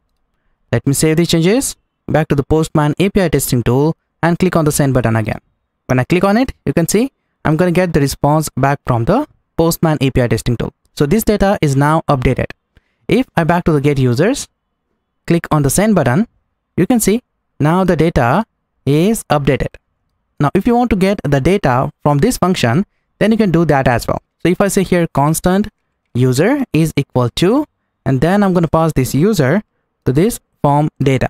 Save this file back to the project and instead of 12,000 right now I'm going to say here 11,000 when I make a send request you can see I'm going to get the complete ID means the complete record as a response from this controller. Now once you understand how you can update the data of the MongoDB database, let me show you how you can delete the user. Now let's take a look at how you can delete the record from the MongoDB database. So if you're back to the controller then you can notice here to update the data, we need to get the user ID as well as the form data. But when deleting the user, you don't need the form data or you can say the posted data. Instead, you just need the user ID. So let me just copy this command and write down here, let me create the delete user. So I'm going to put this comment here and say this is the delete request and the URL is going to be the same right down here. We need to say export async function then I'm going to name the function delete user and then we need to pass request and response parameter. Inside this function, we need to call try and catch like this. And inside this catch, here I'm going to say response dot status 404 dot json and inside this json i'm going to return error if there is an error inside this delete request then i'm going to say here error while deleting the user. And just out of that in the try block here i'm going to say constant in the object we pass user id is equal to i'm going to get this user id from request dot query when you make a delete request to this url you need to pass user id with this url just of that right down here i'm going to say if we have user id then execute this if block and inside this if block i'm going to say constant user is equal to await and then say here users dot find by id and delete. So using this method we are going to first find the record using id and delete it. So as a first argument we specify the user id like this. That's it. This function is, going to take only one argument user id and this statement is going to delete the data from the mongodb If we successfully delete the record, then we are going to return a response. So we say here response.status 200 and then I'm going to pass here dot .json and inside an object, I'm going to say deleted user ID. This one. I'm going to pass this variable to this object. If I delete the record, I don't want to return the complete data of the user as a response. Instead, I'm just going to return the user ID. So I decided to add here a property called deleted and then specify this user ID here. Just of that, if something went wrong and if we don't have user ID, then we need to say here response.status, which is going to be 404 and then specify here JSON response. So inside the error, I'm going to say user not selected. Let me save this file. Back to the Postman API testing tool. If you make a GET request, you will get all your objects. So I'm going to copy this second object and make a delete request. So I'm going to click here and make a delete request. So I'm going to select delete, then specify my URI right here, get rid of this ID and inside this params here, we need to pass user ID and the value is going to be ID of the object. Then when I click on the send button, I'm going to get this response method deleted. This is because inside this index.js right here, you can see we just response this delete request. So we successfully make a delete request. So let me just get rid of this response and pass here delete controller. So here I'm going to pass delete user. Copy this function, get rid of this response and to this function we pass request and response parameter. Let me save these changes back to the Postman API testing tool and now when I click on the send button, you can see I'm going to get a response deleted with the ID. Now when I'm back to the get users and make a get request, I'm just going to have only one record. Now what if I print these users? Get rid of this object and just print this user. Let me save the changes and now let me delete this record as well. I'm going to copy this ID, open the delete request and specify that ID here. Something like this. And now when I click on this send button and make a delete request, you can see I'm going to get the complete data as a response from the delete request. And when I make a get request again, you will not get anything. This is because I deleted all the records from the database. If I want to make a post request again, I'm going to back to the post request by selecting the HTTP post and click on the send button. When I click on the send button, it's going to create a new record inside a MongoDB database. When I back to the get user, click on send, here you can see I'm going to have one record inside my database. Now let me just copy this data, this fourth data and make a post request again. So let me get it off and change this data like this. And then I'm going to make a post request. When I click on the send button, this will insert this data in the MongoDB document. So now I have two records. Let's suppose you want to get only this object as a response. You have to get only this object as a response from the get request. In that case, you have to pass ID in the URL and make a get request. So let's see how to do it. Now, as you know, using get users, you get all the data of the user. But what if you want to get only one record from the database? You might have more than 1000 records inside your MongoDB database. In that case, you won't grab all the records and then filter only one record from the list. Instead, you're going to make a request and get only the record what you want. So let's take a look at how we can get the individual user or you can say the individual employee using dynamic API routing. So inside these pages, as you know, we have the API and to this API route inside this we have users.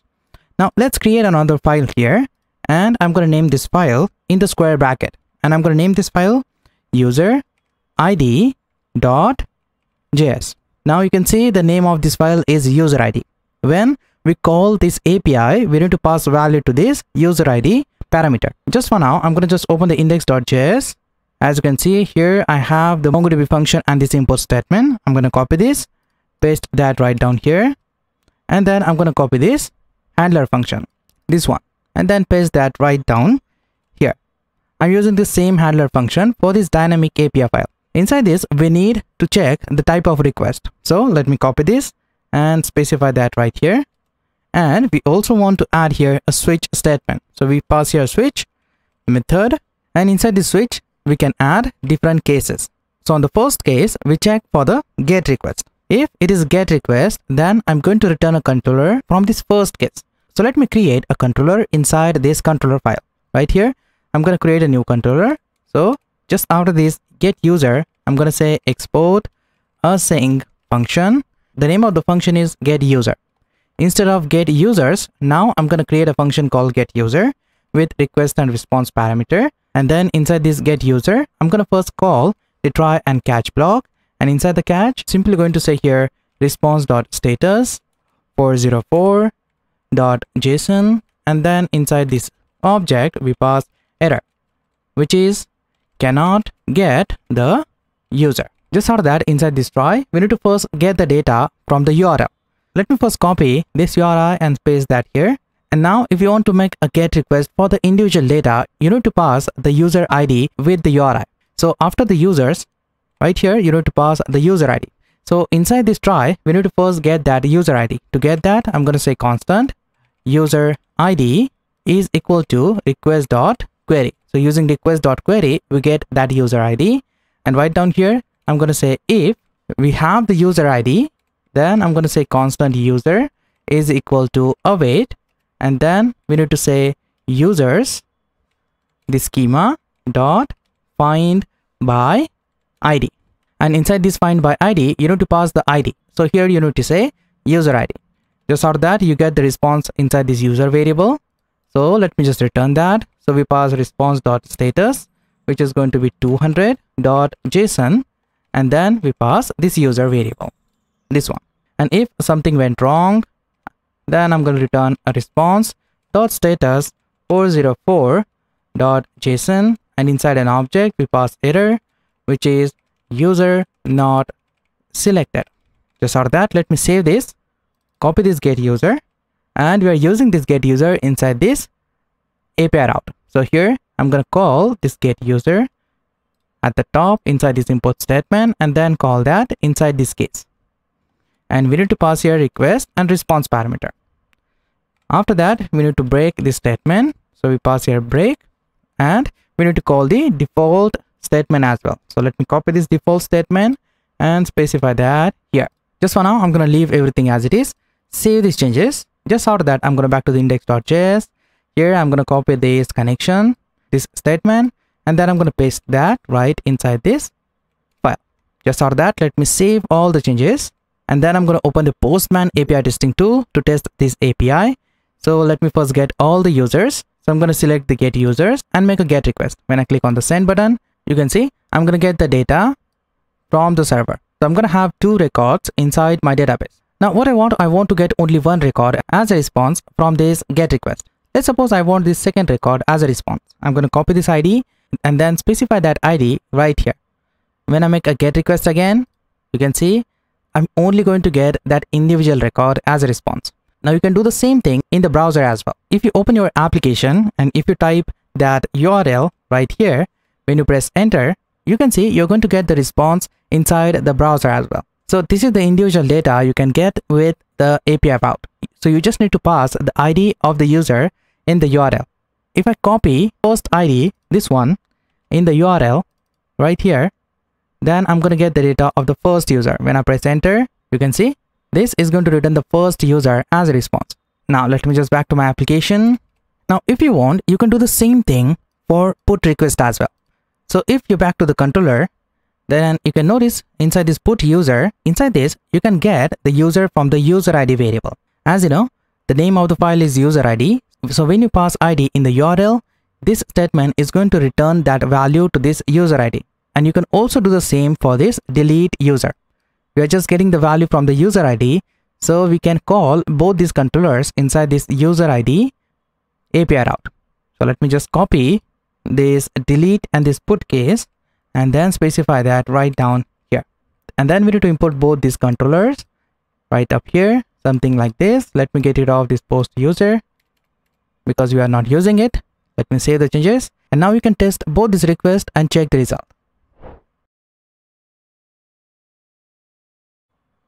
Now once you understand how you can make the API for your application, let's back to the front end and access this API and get all the data from the MongoDB database instead of getting the data from this data.json file. So let me close both these files, minimize all the folders and you can see inside this table, I'm getting the data from the data.json file and we iterate over this data using this statement. Now what I want, I want to get this data from the MongoDB. So what I have to do is I have to fetch that data and then return it. For that, we can use a fetch function of JavaScript. So instead of adding that function inside this component, I'm going to create a new folder for that. Inside this project, I'm going to create a new folder, name this folder lib, and then inside this folder, I'm going to create a new file, helper.js, and here I'm going to create that function. So I'm going to say here export constant get user is equal to and then I'm going to pass a function here. Inside this function, what you have to do is you have to fetch your API data. So we need to call the fetch function of JavaScript. And this function is going to take the URL as a first argument. So here we need to pass the URL. So if I open the Postman API testing tool, then you can notice this is the API for getting all the data of the users as a response. When I make a GET request, I'm going to get all the data of the user. Let me copy this URL back to the GET user and here I'm going to pass that URL, something like this. But now what if you change this URL when you deploy your application? In that case, you have to change all these fetch function values individually. Instead of doing that, you can store this base URL. Here, I'm going to create a variable called constant. In the capital letters, I'm going to specify base URL is equal to, and then I'm going to grab this HTTP right from here, cut that, and then specify that right here. And instead of this API users, right now before this API here, I'm going to pass dollar and in the curly braces, I'm going to pass this base URL. Now this fetch function is going to return a response. So we have to get that response inside a variable. So before this fetch function right here, I can see here constant response and this fetch function is going to return a response to this response variable. Just for that, let me make this function asynchronous by passing here a keyword called async. And we need to pass here await. So now this is a complete asynchronous function. Just for that, when we have the data from the database inside this response variable, we need to convert that into JSON format. So I'm going to say here constant JSON is equal to await response dot JSON. Now once we convert that data inside the JSON format, we can easily return that. So I can say here return JSON, this data. Now let me save the changes and call this get user inside my table. So let me just open the table at the top right up here. I'm going to say import get user from the lib helper file and then right down here I'm just going to say console.log then I'm going to save the changes. And you can see inside the console we get a response. So the function is going to return a promise. And this promise is now fulfilled. And inside this promise result you can see we have two objects.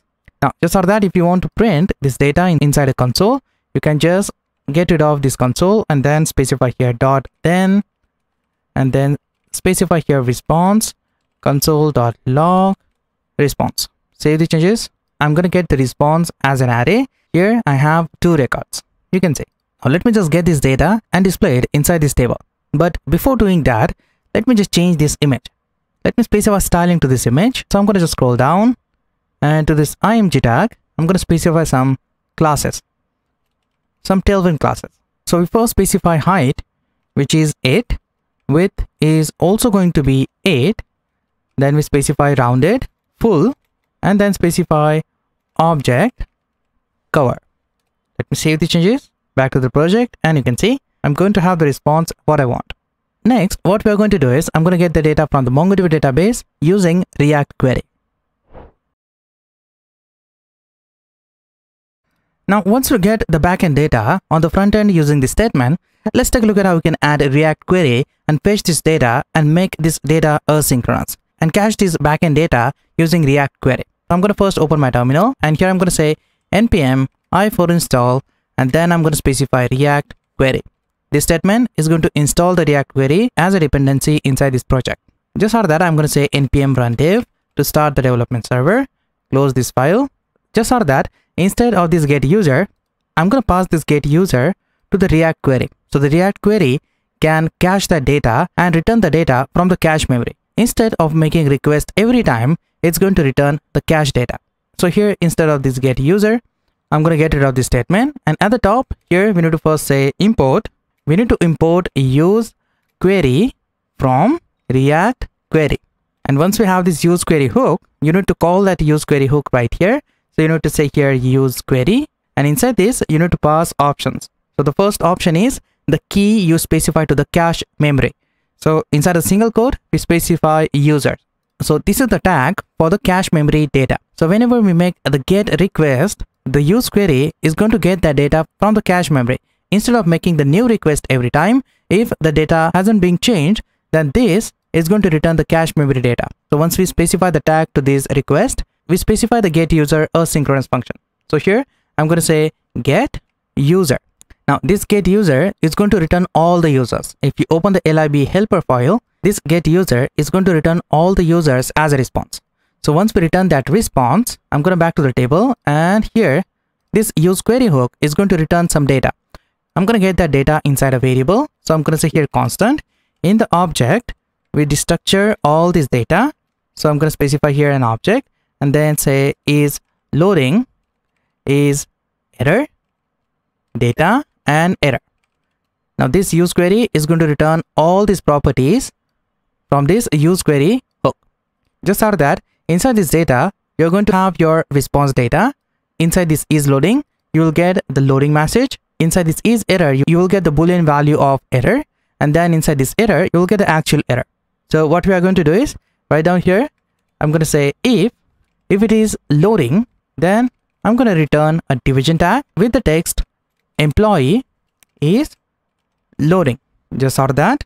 If it is an error, so I'm going to say is error, then I'm going to return a division tag with got error message and then I'm going to print the error, this variable. And if both the statement return false, then I'm going to execute this return statement. And inside this, I'm going to pass this data to this map function. We already have this data variable to this map. So we don't need to add this data variable to it. Let me just get rid of this data.json file right from here. And now just out of that, you need to back to the pages and inside the app.js file right here, you need to add a query provider. You need to create a client so the React query can store all the cache data inside that object. So at the top right up here, you need to import two objects. First is query client provider and second is query client. And you will get this from react query. Now just out of that you have to create a client. So i'm going to add here a comment and say create a client. And here i'm going to say constant query client is equal to new query client like this. And right down here inside this function i'm going to get rid of this component and i'm going to grab this query client provider and specify that here. So I'm simply going to say query client provider, something like this, or I can just wrap this inside a parenthesis. And inside this query client provider, I'm going to paste my component. And to this query client, you need to pass your client. So specify the property called client and then specify your client here. You can see you already have here a new instance of the client, query client.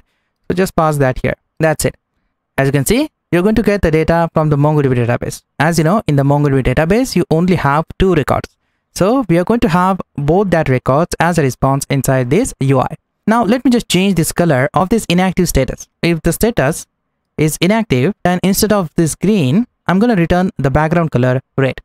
So to do that, I'm going to wrap all these classes first inside, inside the template string, something like this. And then instead of this bg green, here I'm going to say dollar. In the curly braces. I'm going to say status. If it is equal to active, then return this class. Bg green 500 or if it is inactive or something else then return bg rose 500 this one. Now let me save this back to the project. And you can see for the inactive user you'll get this rose red background color. And for the active user you will get this green color. So this is a simple way you can get the data from the backend now the React query will automatically cache this data and only execute the API request when the data is updated. Otherwise, it will return all the cache data as a response. I have a complete course on React query as well. You can check out that course from the top right corner of the screen or from the description. Now, once you understand how you can display all your data using React query, let's take a look at how you can consume your API using helper functions. So inside this helper.js file, let me create a few more functions here so we can consume the API. Let me change this function name to users because using this function, we are returning all the users. Save this file, copy this get user. Don't forget to change that right here as well inside this table. It's users. Save this file, back to the helper.js and right down here, I'm going to say export constant get user. And this time I'm only going to return a single user from this function. So I'm going to say here async and pass here a function like this. And then I'm going to pass here a parameter called user ID. And right down here, I'm going to say constant response is equal to await and then call the fetch JavaScript function. And inside this, we pass the backtick operator, pass the dollar sign in the curly braces. We first pass the base URL and then pass the API and the users endpoint. Just after this user endpoint, we need to pass the user ID. So here I'm going to say forward slash and then specify dollar curly braces and then I'm going to specify this user ID here. So this statement is going to return the single object as a response. Just out that once we have that data, we can just say here constant JSON is equal to await response.json and right inside it here I'm going to say if we have JSON. So if you have data inside this JSON, then I'm going to return that JSON. Otherwise, I'm going to return nothing. So I'm just going to return an empty object as a response from this get user. This function is going to return the single user and this function is going to return all users. Just out of that, let me just scroll down and create a function for posting a new user. So I'm going to say here posting a new user and then I'm going to say here export async function add user. And using this function we are going to add a new user. So to this add user we need to pass the form data. We pass here form data. So when we get the form data from the user we pass that to this form data. And inside this I'm going to say try and catch like this. And from this catch I'm going to return the error. If anything went wrong I'm going to return the error. And inside this try here I'm going to create a variable called constant options is equal to and then pass an object here.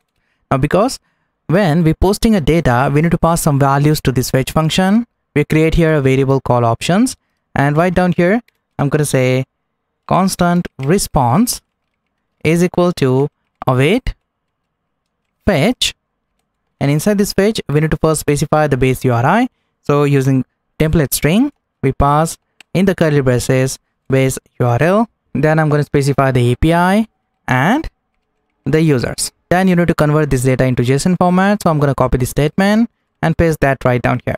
We need to make a post request using this fetch function. So every time when you execute the fetch function with the URL, it will going to make a get request. So get is the default method of fetch. If you want to make a post request, you need to inform the fetch function to make a post request. So here we need to say method. We need to pass here property call method. And in the single quote i'm going to pass the type of method which is post. Then we need to pass headers as well. Headers. And inside an object we need to specify first the content type. So i'm going to say here content type. And this is going to be the application json type. And then i'm going to pass my data. So i'm going to say here body json. And using this json object i'm going to first stringify the data using stringify function and then I'm going to pass here form data. So I'm going to convert this form data into stringify format and then return that to the body. Just of that, you need to pass these options as a second argument to this fetch function, something like this. And just of that, you need to return this statement. So return JSON. Now let's consume the update API. So let me copy this command, paste it right down here and say here update a new user. So let me first say here export async function update user. And here you need to pass two parameters. First is user ID because when you update your data, you need user ID and the updated data. So we need to pass here form data as a second parameter. Just out of that, I'm going to copy all this option parameter right from here and then specify that inside this function. Or you can just call here try and catch block. That's upon you. If you want to write a safer code, you can add here try and catch block. Just for now, I'm going to print this option and instead of post, right now we are making the put request. So we pass here put. Everything goes the same. I'm not going to do anything here. Instead, when I make a request, so let me copy both the statement, specify that here.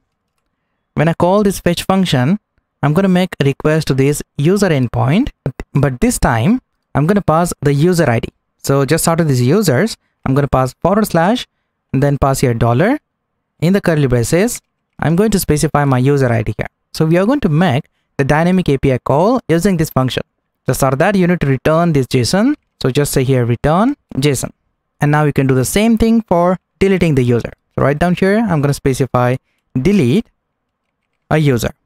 So we need to first say here export async function, which is delete user. And we only need one parameter here, which is user. Because when deleting the user, you only need user ID. So I pass here parameter called user ID. And inside this, I'm to first copy this option, specify that here.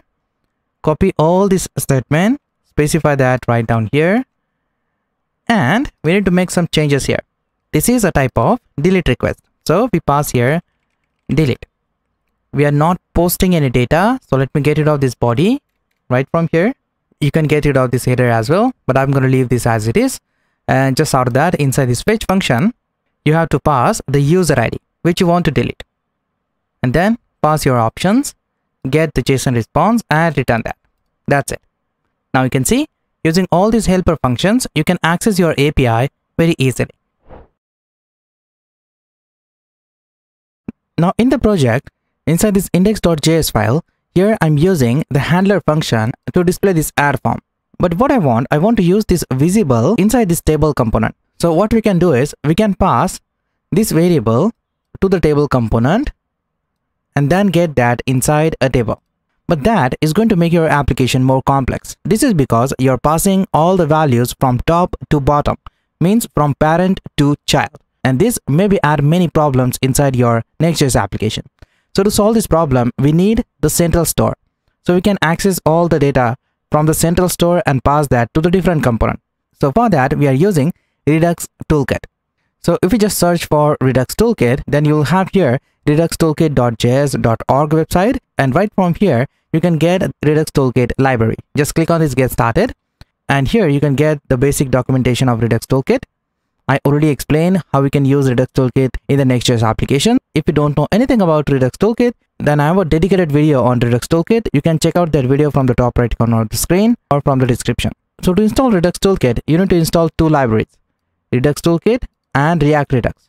So let me first copy this statement, stop the development server, and here I'm going to say npm install Redux.js Toolkit, and then I'm also going to install React Redux.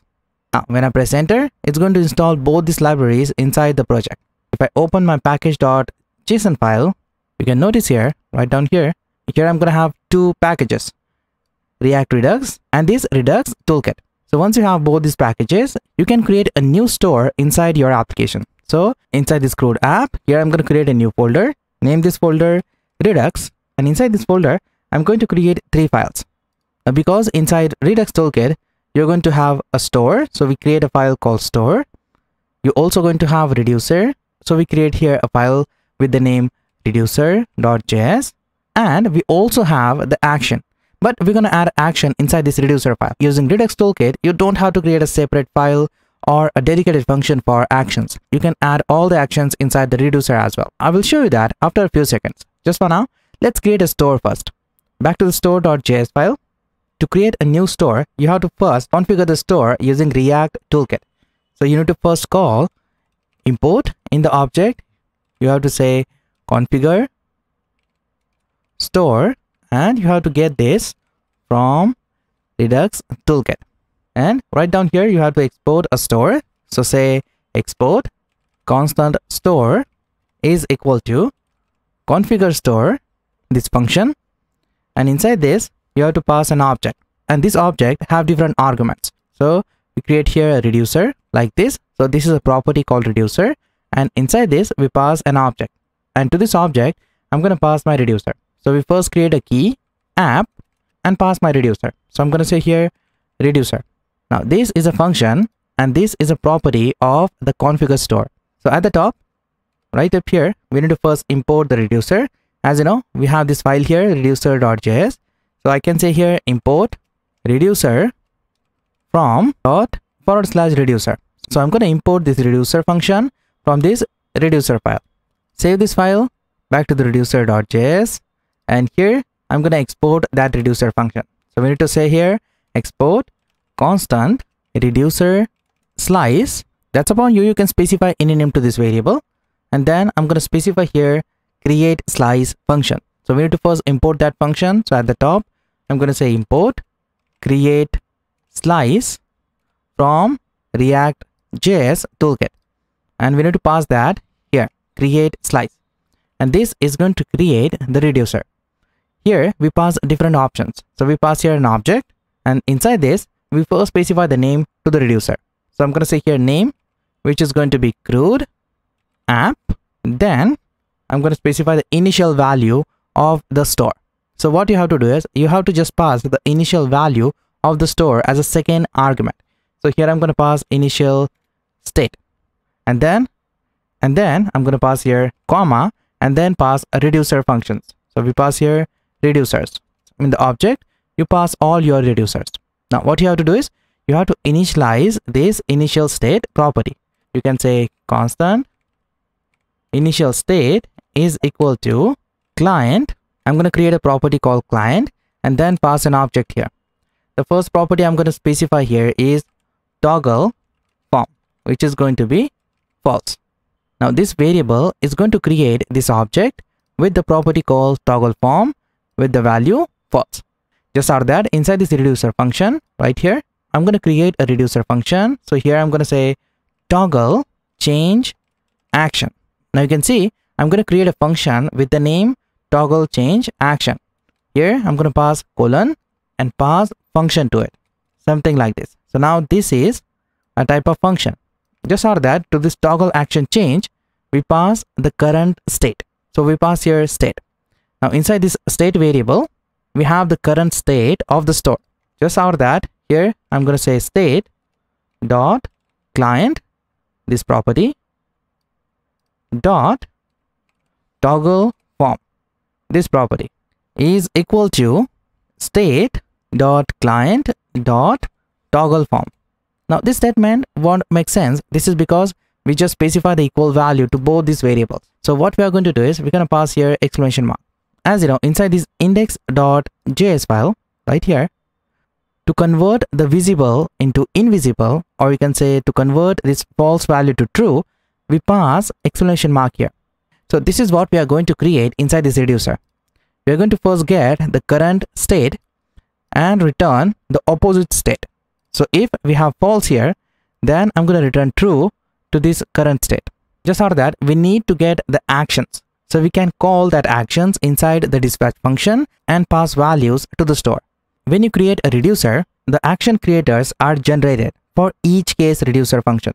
So for this reducer, there is an action. So right down here, I can say export constant reducer slice dot actions. Now this property is going to return an action. So we're going to get all that actions inside an object using JavaScript destructuring.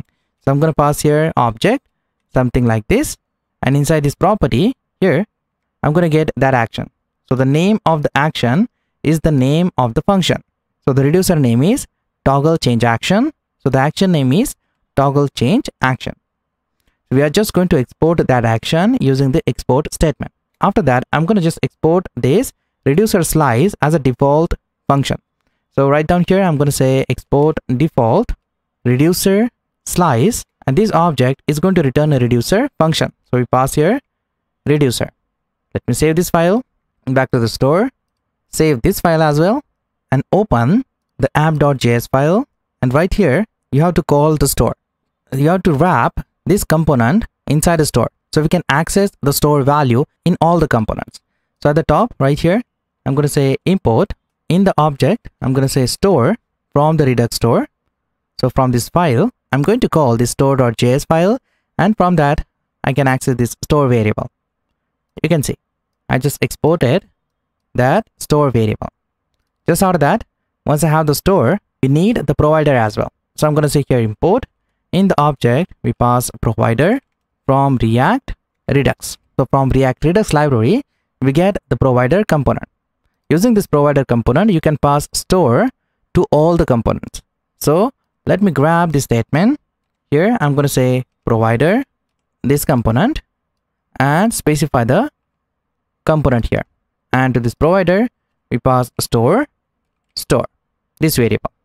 That's it. Now the Redux store is successfully initialized. And now let me check the React store is working or not. So at the top, right up here, I need to say import. In the object, we need to call a hook use selector. And this is from React Redux. Oops, I think I misspelled here. Use selector. So we're going to call use selector hook from the React Redux. And right down here, let me just call that inside this function. Inside this table, I'm going to say use selector, call the callback function here with the value state, and then I'm going to return that state. You can get this state inside a variable. Let me create here a variable constant state is equal to, and then I'm going to console dot log this, something like this. Let me save these changes and open the console. Oops, I think I misspelled something. Configure store is not a function. Let me just back to the store. Yeah, I just misspelled here. Let me just change the spelling. Now you can see the Redux store is now successfully initialized in this application. And as a response, you will get here a state, the current state. You will get app. Inside this app, you have client. And inside this client, you have your property called toggle. And now you can change this property value from any component of your app. So let's see how to do it. Now, once you understand how you can initialize your app with React Redux, let me show you how you can update this store value. Now, in Redux, you're not able to change this value by specifying a new value to it. Instead, you need to call a dispatch function to change the value of this state. So let me show you how to do it. So what you have to do is you have to first grab this app. Inside that app, you have client and from the client, you have to grab this toggle form. So inside the project, let me just specify here state dot app dot client dot toggle form. Let me save this back to my project and now reload it. You can see I'm going to get false as response. So the value of this initial state is false. You can notice. Now what I want, I want to change this value when I click on this update button. And after that, I want to open the add employee form.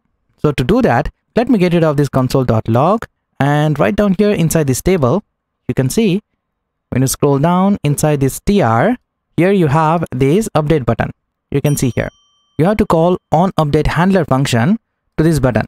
So when you click on that button, it's going to call that handler function and we can update the state of the store. To this button, we specify on click. So when we click on this button, I want to execute the handler function. The name of the handler function is on update. Now, as you know, we don't have this handler function. So let me just create that inside this function.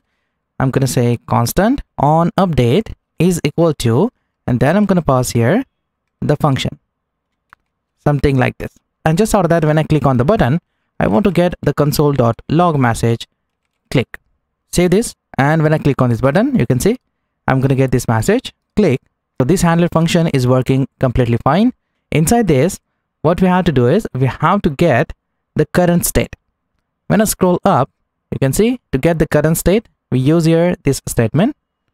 Let me grab that and specify that inside this tr function right here. Just out of that, inside this state, as you know, we have true or false value. Instead of state, I'm going to rename this to visible or flag. That's a one you you can specify any value to this variable. Just out of that, you need a dispatch function to change the value of this variable. So at the top, you need to import here a hook called use dispatch. And using this hook, you can call the action. So right here, I'm going to say constant dispatch is equal to call the use dispatch hook, something like this. So we can execute the action using this dispatch variable. So let me copy this dispatch. Instead of this console.log here i'm going to call dispatch and inside this parenthesis we pass the action. As you know inside the reducer here we exported this action. I'm going to get that inside this table. So right up here here we need to say import in the object toggle change action from double dot forward slash then specify the reducer folder and inside that we have the reducer file this one inside this file we have this toggle change action function. So let me just import that inside this table like this.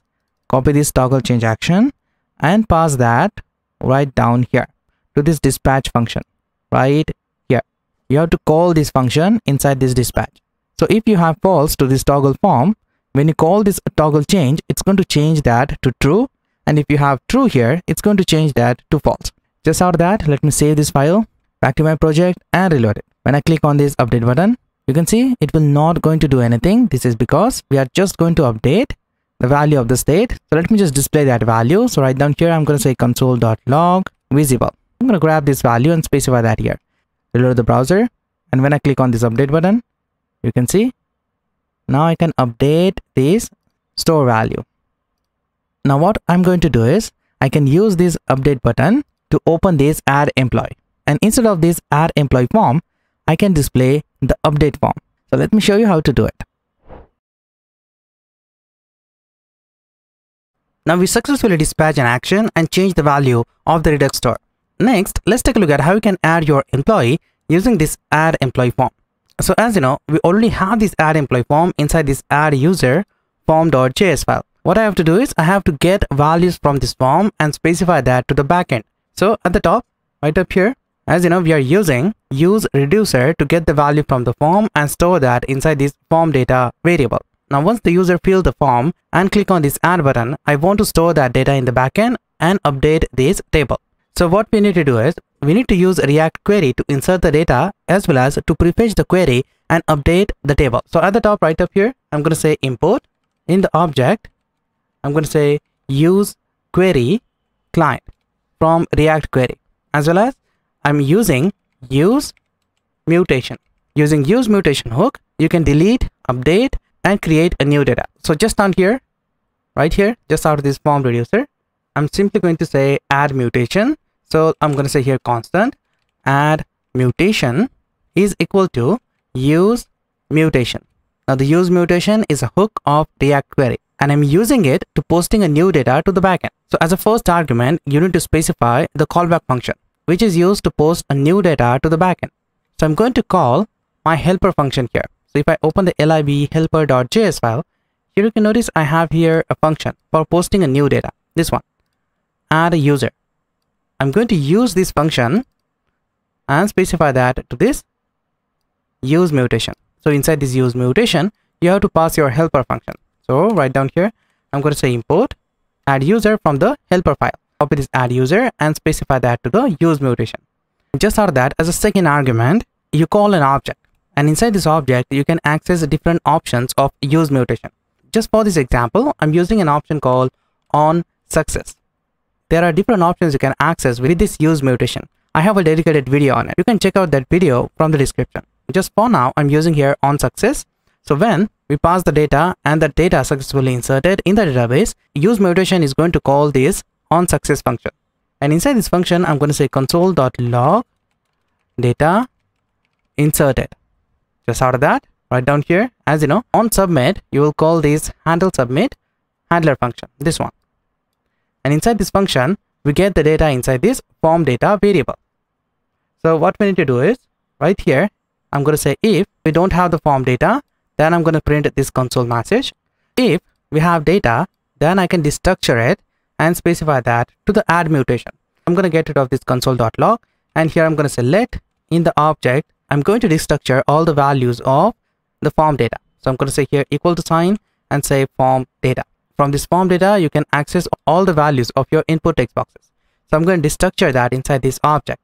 Here I'm going to say first name, then I'm going to call last name, then we have email, salary, date, and status. As you all know, we created this form in the previous lecture. Now we can access all these properties from this form data. Now once you have all this property, we need to first combine this first name and this last name. Now because in the model, here you can see I'm using first name and last name and store that inside a single field. So I'm going to combine both this first name and last name and store that inside a name field and then I'm going to store all these values to the corresponding fields. So here I'm going to create a variable constant model is equal to and in the object I'm going to say name. Name is going to be I'm going to pass here template string and then specify dollar in the curly braces going to first say first name add here a space and call here dollar again and then specify last name. So I'm going to store first name and last name inside this model as a name field. Just out that pass here a comma and then I'm going to pass here avatar now because I'm not getting the value of the avatar from the user I'm just going to pass this avatar URL right here that's upon you. You can allow user to upload a new avatar and specify that value to the avatar property, but that would be a completely different tutorial. So if you want me to make a video on uploading a new avatar and specifying that value to the backend database, then I will make that video for you. Let me know in the comment section. Just for now, I'm going to specify this hard-coded URL and instead of the same avatar for all the users, I'm using here math function to specify different images to the different employees. So instead of this 4, here I'm going to pass dollar curly braces and I'm going to call here math dot floor. And inside this I'm going to say math dot random. I'm going to call here random numbers. And inside this random numbers I'm going to just multiply it by 10 so this is going to return random numbers from 0 to 10 now just out of that. Once we specify that here I'm going to say email. I'm not going to specify any value to the email because I'm getting the value from the form data. Then I'm going to say here salary and date. And after that I want to specify status. Now here what I'm going to do is if the user won't select the status then I'm going to specify the default value to this status. So here I'm going to pass colon and pass value to the status so if the user select these checkboxes then I'm going to specify that value to the status if the user select any of these radio checkboxes then I'm going to specify that value to this status. But if user won't select anything, then I'm going to return the default value active. And then what you have to do is you have to pass this data to the add mutation. As you know, to this add user, if you back to the helper.js file, have a parameter called form data. You have to pass data when you add a new user inside a database. So you specify that right down here.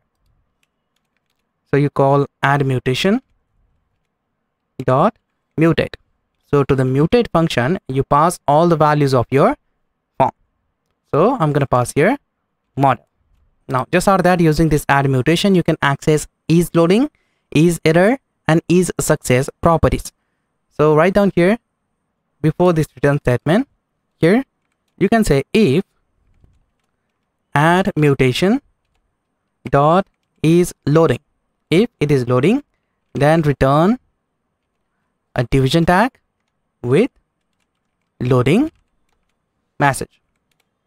If add mutation dot is error, if it is error inside this add mutation, then return that and I'm going to return that with this component. So I'm going to copy this bug component, specify that here and instead of this error, right now, I'm going to say add mutation dot error dot message. So using this add mutation, you can get the error message and specify that to the component. Just after that, if it is successful, so if the data is successfully added, you call add mutation is success and return a success component. If you scroll up, here you have the success component. I'm going to use that right down here. So I'm going to say here success and to the success we specify message which is going to be added successfully. Back to my project and now let me specify some values to this input text boxes. If I try to type something here, I'm going to get this error component. This is because we have this statement here. I added this statement at the beginning of this project. Let me get it of this statement right from here. Save this file, back to the project, reload it, add a new employee. So I'm going to specify the username first. So I'm going to specify the first name, then specify the last name, then specify email, salary, status is going to be active and then specify the date. When I click on the add button, you can see I'm going to get here a message, data added successfully. And when you open your console.log, you will get this data inserted message. But when you reload your browser, you're not going to get this updated data inside this table. the problem might be in this add user. This add user won't able to insert data inside the MongoDB database. So what we have to do is we have to back to the helper.js and uh, let me check this add user. Yeah, right here, I have to pass the forward slash. Or I can just pass this forward slash right to this base URL, something like this. And let me get rid of this forward slash right from this get users. Let me save this file and I have the same URL to all my helper functions. You can notice. Now, let me save this back to the add user form. And now instead of this console.log, I'm going to update the table data. Instead of reloading the browser, I want to update the table data. So at the top, right up here, I'm going to say constant query client is equal to use query client. I'm using my query client data. So right down here, I'm going to say query client dot prefetch. And I'm going to prefetch the users. And then I'm going to call get users function, this one. So we need to import this. So let me just import that right up here, get users and call that inside this on success. Let me save this file back to my project, reload it. And let me specify values to these text boxes. So if I specify the first name, last name, then specify the email, salary, then specify the date and the active status. And I click on the add button. You can see now my data is successfully added. You will see this message add successfully and we have three employees inside this table. Now you can see we successfully added a new employee inside this project. Let's take a look at how we can update this user. Now what I want before we understand how we can update the user using the update form, let me show you how we can open the update form using this button. As you know, when you click on this add employee, it's going to open a new add employee form. But what I want, when I click on this update button, I want to open my update form. So let's see how to do it. We have to first back to the form. And here you can notice I have here a flag with the value true. I'm going to just change this value if I specify here false. When I click on the add employee, it's going to open the update form. But instead of changing this value of this flag every time when I want to update my record, I can get this value from the Redux store. So what I'm going to do is, when I click on this update button, I'm going to pass the ID of the record to the Redux store. And when we have that ID, I'm going to open the update form. As you all know, when you click on this edit button, you're going to call this on update handler function. And this is going to dispatch an action, toggle change action.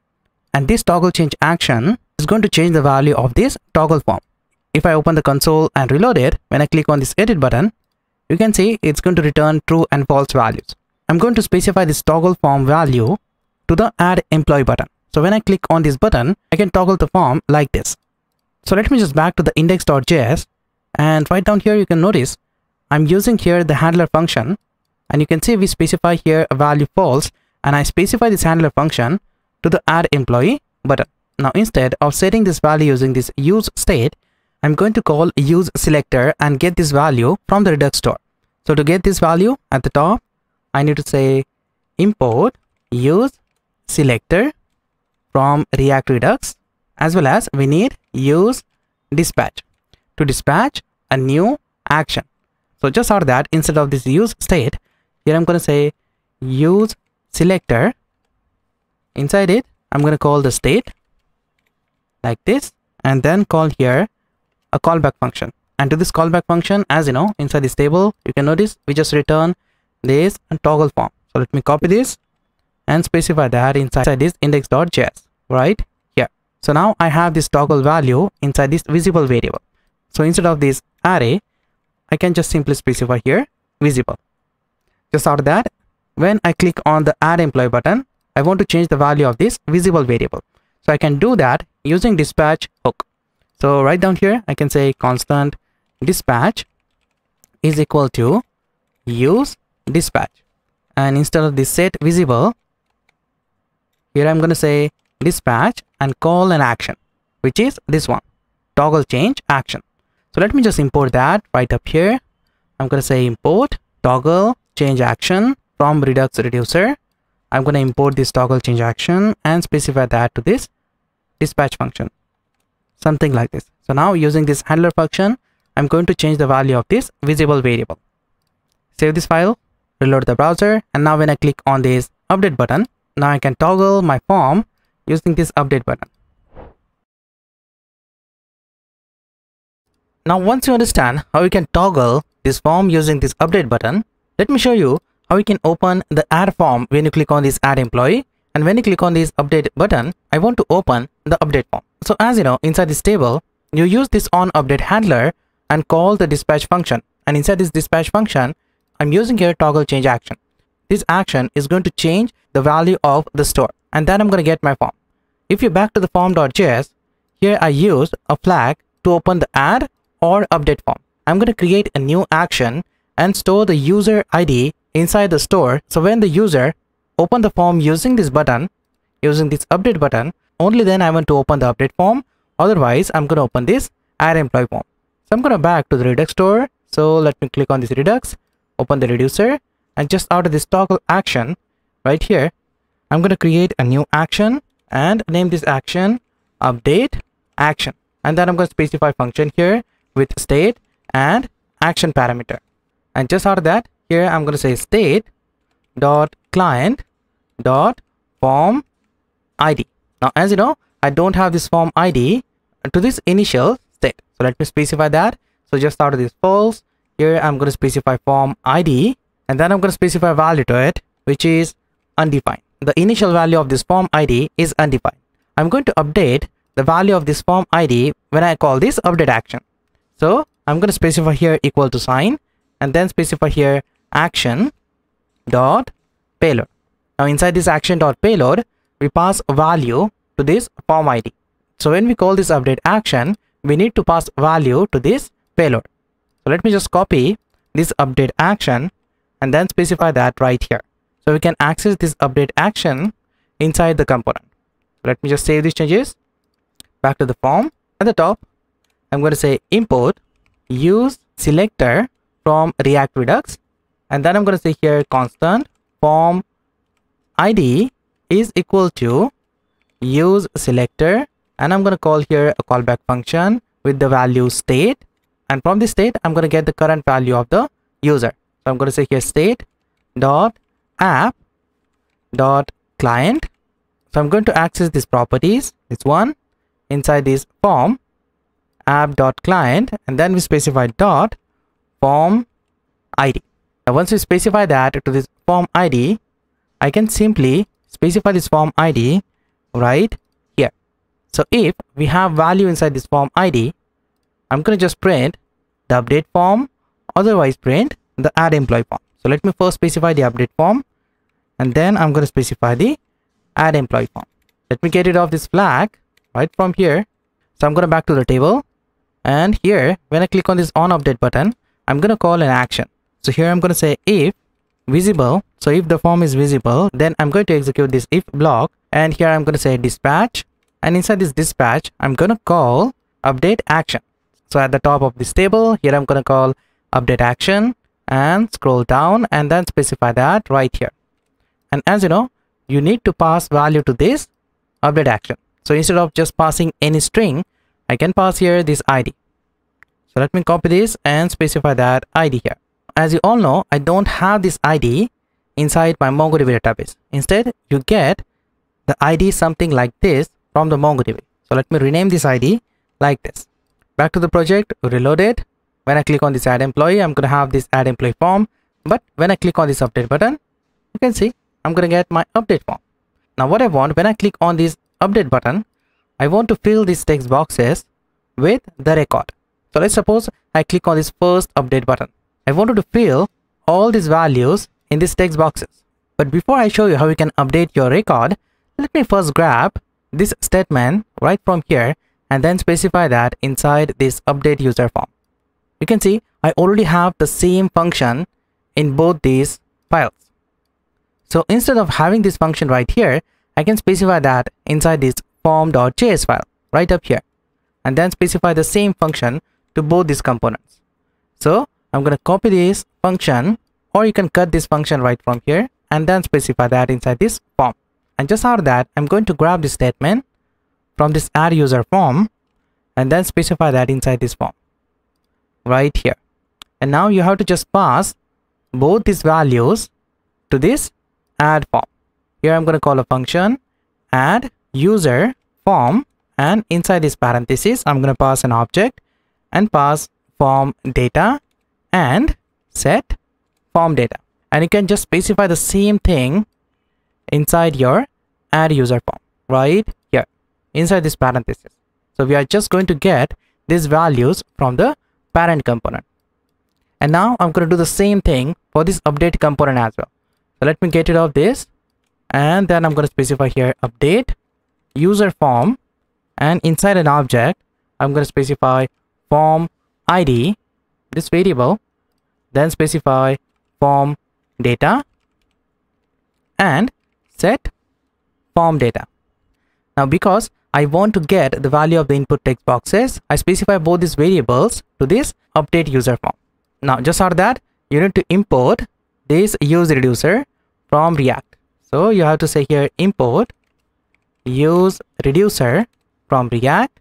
Just for that, back to the update user, get rid of this function. And as you know, from the form, you can get all these three properties. So let me copy this, specify that in the update user form right here inside this parenthesis, get rid of this statement. And now you can get all the values of your input text boxes using this form data variable. And you can set a new value to this form data using this set form data function. Now let's suppose that you click on this update button. What I want to do is I want to fill all these values inside these input text boxes. So we can easily update the user without specifying the same values again inside these text boxes. So what we need to do is we need to first get the values from the database and then specify that to all these text boxes. So inside this update form right here, let me close all these forms. Now inside this update form here at the top, I'm going to first get the data from the database. I'm going to get the user with the user ID. As you know, when you click on this button, it's going to pass the user ID to this form ID variable. I'm going to get that user using this form ID. So before this handle submit right here, I'm going to say use query and I'm going to import that use query at the top right here. And inside this parenthesis, I want to call this helper function get user. This get user function is going to return a single user as a response from this function. And this function is going to take a parameter called user id as you know inside this form id we have the user id so using this use query i'm going to fetch that value and store that in the variable. So inside this use query i'm going to first specify the tag name which is users. Then i'm going to pass here comma. And then as a second argument i'm going to call here a function get user from the helper file. So from this lib helper file i'm going to get this get user and then pass here as a second argument, something like this. And then I want to pass this form ID, something like this. But this statement won't execute. This is because if you want to pass any external value to this use query, you need to pass that value as an array to the first argument. So if you want to pass this form ID to this get user, you have to wrap this statement inside an array, something like this. And on the second index, you specify this form ID. Now instead of this get user you call here a callback function like this and call get user. Now this statement is going to return the single object as a response. And we are going to get that object by destructuring it. So i'm going to say here constant. In the object here i'm going to say is loading is error data and error. So you can get all these properties from this use query now just out of that, right down here, I'm going to get rid of this object. And here I'm going to say if is loading, if it is a loading message, then I'm going to return a division tag with the message loading. And if it is an error, so is error is going to be return and then specify here div with that error. You can specify your own errors here. That's upon you. At the top, I'm going to say constant in the object from this data. As you know, inside this data, we have an object. So I'm going to destructure all the values here. I can say here data. Inside this object, I can say name. From this object, you can get name, avatar, salary, date, email, and status. So we are destructuring all these values from this data variable. Let me just grab this statement and specify that above here. And just after that, as you know, instead of just name, here I have two values, first name and last name. So we need to grab first name and last name from this name property. So right down here, I'm going to say constant in the array. I'm going to say first name and last name. And I'm going to get that from the name property. We need to call here a function dot split. This function is used to split string and return as an array. So I'm going to pass here empty space. So this statement is going to return an array of first name and last name. And I'm going to store that values inside this variables. Now what if I don't have any value inside this name? In that case, I want to get these values from this form data. So let me specify here name. So let's suppose that if I have name, then I'm going to execute this statement. Otherwise, if I don't have this name, then I'm going to specify here form data. So I'm going to get this name from this form data. Just after that, I want to specify these values to the text boxes. So right down here on change, so the set form function is going to specify all the values of these input text boxes to this form data. Now what I want instead of on change, I want to get these values from the database. So as you know, we already have these values in, inside this variable. So right down here, I'm just going to specify that to this input text box. So I'm going to say here default value is going to be first name. So the default value of this input text box is this first name. Let me copy this, specify that here. So I'm going to specify here a variable last name, then specify this to this email. Here I'm going to say email, then copy and paste this default value here. This is for salary. Do the same for this date. Here I'm going to say date and do the same for this active and this inactive radio buttons. So instead of default value, here you specify default check. So I'm going to say default check is equal to, in the curly braces, I'm going to say if the status is equal to active, then I'm going to check this input text box. Otherwise, return false. So this statement is going to return true or false value to this default check. I'm going to copy this and specify that to the second radio checkbox. And here I'm going to say if the status is not equal to active, then return true. Back to the form. And now when I click on this update button, you're not going to get anything. But if you click on this update again, you can see you have all the values of your database inside these text boxes. If I click on the second record, you will get all the values of the second record inside these text boxes. So you can easily update your record by clicking on this update button. So what I want when I click on this update button, instantly I want to open the update form and specify all these values to these input text boxes. So we can easily update the user. So we are going to achieve this using Redux middleware. So let me show you how you can use Redux middleware in this application. Now let's take a look at how we can create a middleware inside this application. As you know, we already have the Redux store in this app. So using the Redux store, we can create our own middleware. When you click on this add employee, it's going to call the toggle change action. And I'm going to do the same when I click on this update button. But you can notice I need to click on this update button twice to get the result. Now I'm going to solve this problem. So just back to your application and inside the Redux store here, inside this folder, I'm going to create a new file. Name this file listener.js. That's upon you, you can specify any name to this file. Here, I'm going to create a middleware. This middleware is listen to the toggle change action. So whenever you call this toggle change action, I'm going to call this update action. So I'm going to create this middleware inside this listener.js file. So here we need to first call the create listener middleware. So here I'm going to say import create listener middleware from Redux.js toolkit. And right down here, you need to import your action. So as you know, we have toggle change action in the reducer as well as I have update action. So I'm going to call both these actions inside this file. Right down here, you need to create middleware instance. So here you need to say constant listener middleware is equal to and then you specify the create listener middleware something like this. So this is going to create an instance of this middleware. Just out of that right down here you need to call this listener middleware instance and then call the start listening function or you can say method. Inside this method you pass an object and listen to the specific action. So we are listening to the toggle change action. So we specify here action creator a property and then specify the toggle change action to it. So whenever we call this toggle change action, I want to execute the callback function. Or you can say, I want to execute an effect. So we pass that effect as a second parameter right here. So we pass here effect, then specify function to it. And the function is going to be asynchronous. So we pass async function, something like this. And to this function, you can access two properties, action and listener API. Using this action parameter, you can get the payload. And using this listener API, you can dispatch an event. So inside this function, I'm going to say listener API dot dispatch. I'm going to call a dispatch function from this listener API and then specify the update action here. And as you know to this update action, we have a payload. So we can access the payload using action dot payload. That's it. A very simple middleware is now ready. Let me just export this.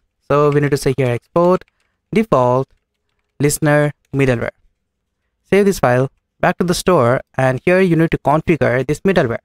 So at the top, you have to say import listener middleware from the listener file and just of this reducer, here you call a comma and then specify middleware.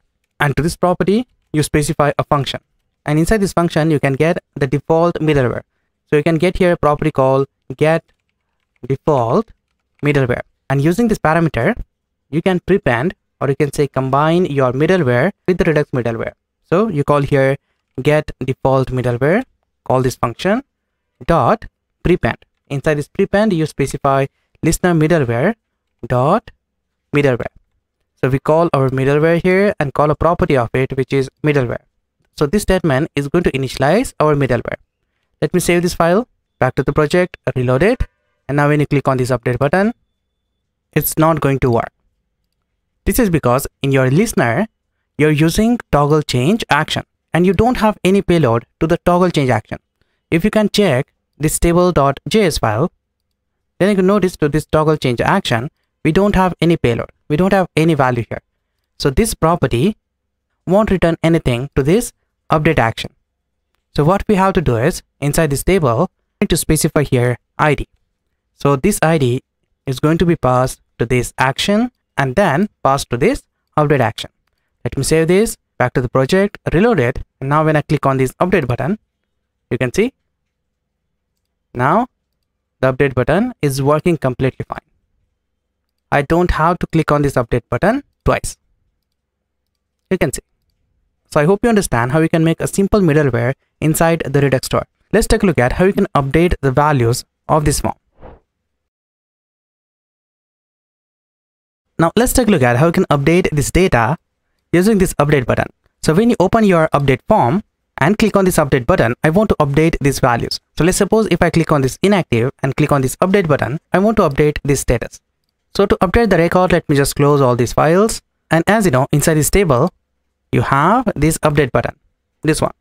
When you click on this update button, it's going to call the update form. And inside this update form, you have all the values of your database. I want to get the database values as well as the user input values and then return to the React mutation. So we can store that or you can say, so we can update that value in the database. Open my application, open the console, reload the browser. And now when I click on this update button, I'm not going to have anything. This is because now this form data is going to return nothing because we haven't changed anything inside the form. Let's suppose I change the salary. If I specify here 15000 and click on this update button, I'm going to get only the salary property inside this object. What I want, I want to combine these values as well as this property and then return and update the backend. We need to first combine this first name and last name and specify that to the name variable. And also we need to get the form data. So let me first get rid of both the statement. And here I'm going to say let username is equal to and inside the template string here I'm going to pass dollar curly braces and then I'm going to pass here form data this variable dot first name. If we have value inside this form data dot first name then return that. Otherwise return this first name variable this one. So we pass here question mark and specify here first name. I'm going to do the same for this last name. So here I'm going to pass space and pass here dollar curly braces form data dot last name. If we have value inside it then return that. Otherwise if we have undefined here then return this last name value. So now inside this username variable we have first name and last name. Just out of that we need to combine this username this form data as well as this backend data and create a new object. So we can return that object to the backend and update the values. So right down here i'm going to say let updated is equal to object dot assign. Using this assign method we create a new object and combine multiple objects. So here i'm going to create a new object. So we pass here empty object and then pass data as a second parameter. Now inside this data as you know we have all the values of the database. Just after that? We combine form data. If we have the same property in both this object then the assign method is going to override default value with this second property value. So let's suppose to this data object we have name property. And if it is equal to admin and if inside the form data we have the same property name with the value client then this assign method is going to override this value with this form data value. Something like this. So just out of that i'm going to specify here a comma pass an object. We need to pass this username as well. So here i'm going to pass name property and pass this username. This one.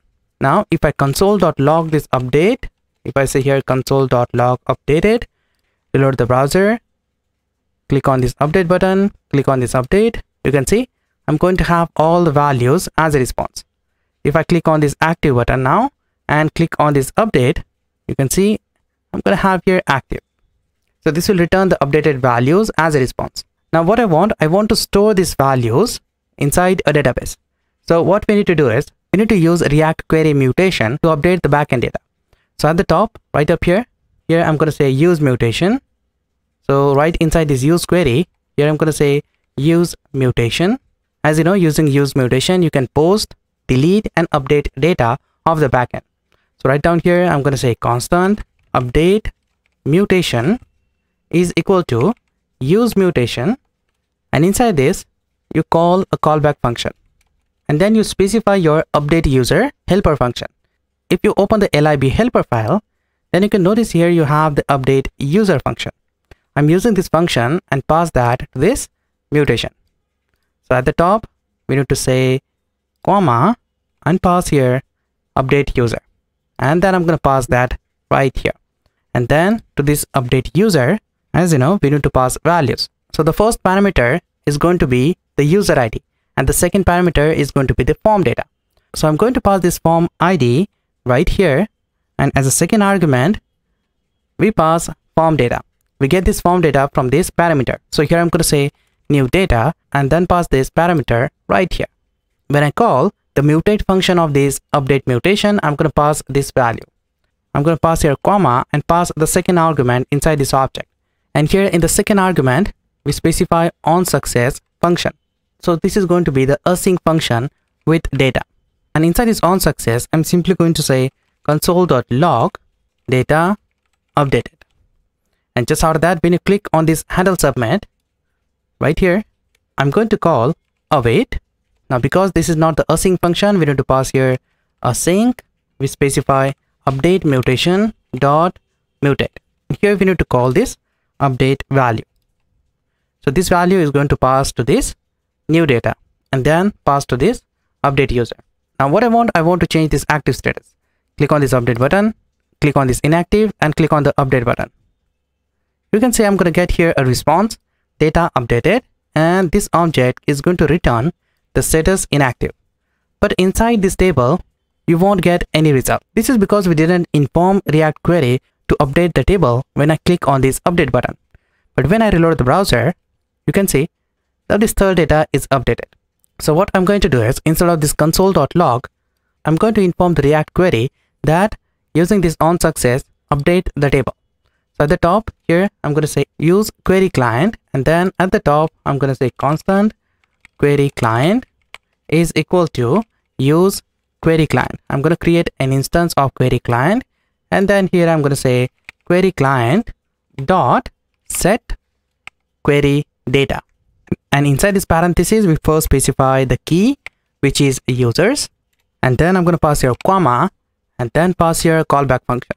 And inside this callback function you can get the old value.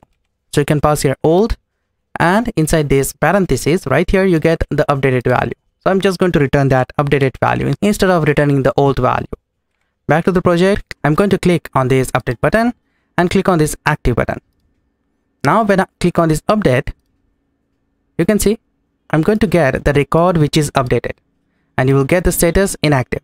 Now if you want to get all the data when you click on this on success you can comment this statement and here you can call query client dot prefetch query.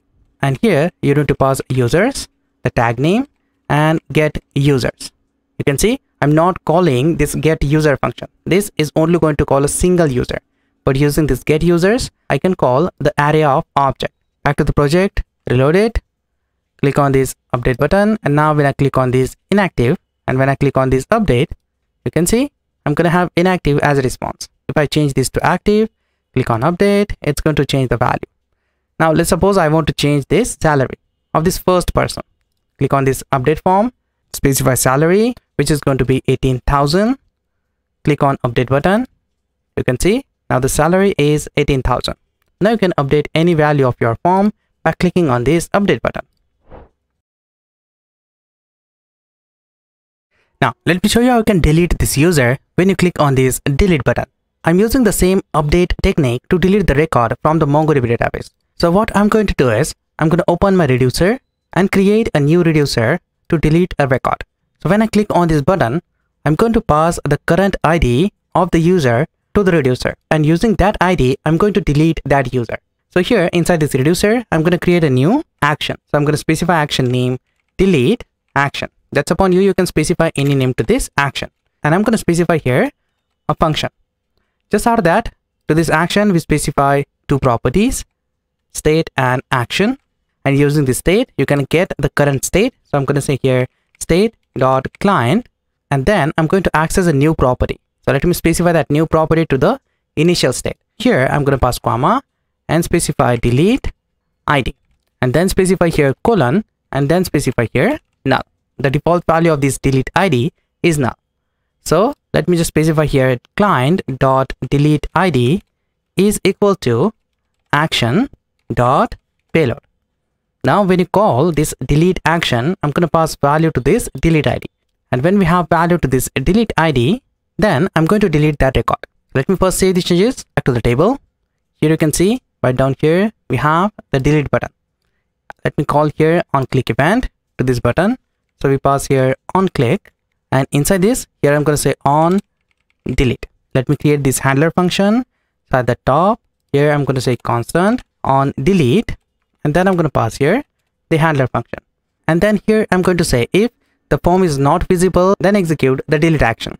So i'm going to say here if if the form is not visible only then delete the record. So i'm going to say here dispatch. And inside this dispatch function you call the delete action. So at the top here you need to import that first. You call this delete action right here. But wait you need to first export this delete action right down here you need to call comma and pass delete action. Save this file.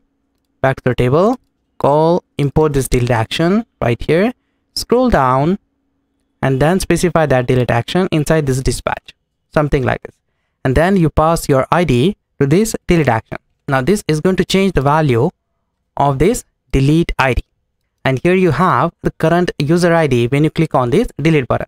I want to ask the user that really want to delete the record. If he click on yes, then we delete the record. Otherwise, cancel the transaction. So I'm going to open my pages and here I have the index.js file. So inside this index.js, right here, I'm going to create a new component. So scroll down, right down here. I'm going to say function delete component. And then I'm going to pass here return statement and using this return statement i'm going to return a div with some tailwind classes so we specify here flex gap is going to be 5 inside this div i'm going to first add a paragraph and then say are you sure? and then create here two buttons. So the first button is yes and then second button is no. Let me save this copy this delete component and specify that just after this division tag. Write down here something like this. Save this file back to the project and you can see you're going to have this question here.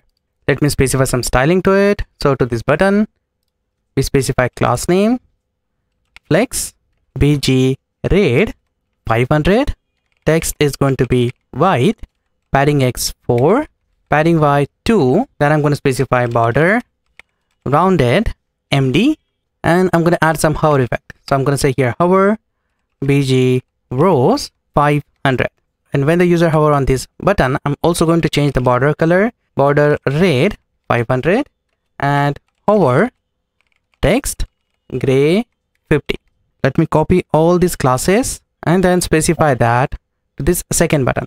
So we specify your class name and specify all these classes here. But what i want instead of specifying this red color now i'm going to change this to green. So instead of bg red we pass here green. Let me do the same for these colors. So here i'm going to pass hover bg green. Border is going to be green and i'm going to leave everything as it is. Let me save this back to the project and you can see i'm going to have this result. Oops i think i misspelled something here. It's green. You can see i'm going to have the result. Now instead of this paragraph if, if i specify here button then i don't have to specify any space to this question. Now once we have the ui when the user click on this yes button then we are going to delete the record. When the user click on this no button then we are going to cancel the transaction. But before that let me add an icon to this yes and to this no button let me just click on this yes and no.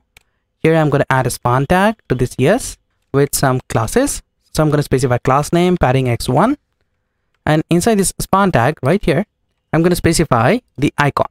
I'm using here bi x icon. Let me import this icon at the top. So let me copy this and specify that at the top right here. Do the same for this second button. So let me copy this span tag and specify that right and instead of bix i'm going to specify here bi check. And then import that right up here. You can see i'm going to have these icons here. What i want when the user click on this yes button i'm going to execute the handler function. We are going to create these handler functions inside this parent component. So to this delete component we are going to pass that handler function. So here I'm going to say delete handler. And we're also going to say cancel handler. Now when the user click on this no button, I'm going to call this cancel handler. When the user click on this yes button, I'm going to call this delete handler.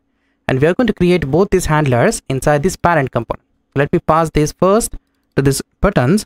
So here to this first button, we specify on click delete handler and to this no button we pass on click cancel handler and at the top right up here you need to pass both these handler functions to this component. So right up here i'm going to say constant cancel handler is equal to and then i'm going to create here a function something like this. And then you also need to create a delete handler. So right up here you need to say constant delete handler is equal to and then pass the function here. And then you have to pass both these functions to this delete component. So i'm going to just copy this object and then specify that right here.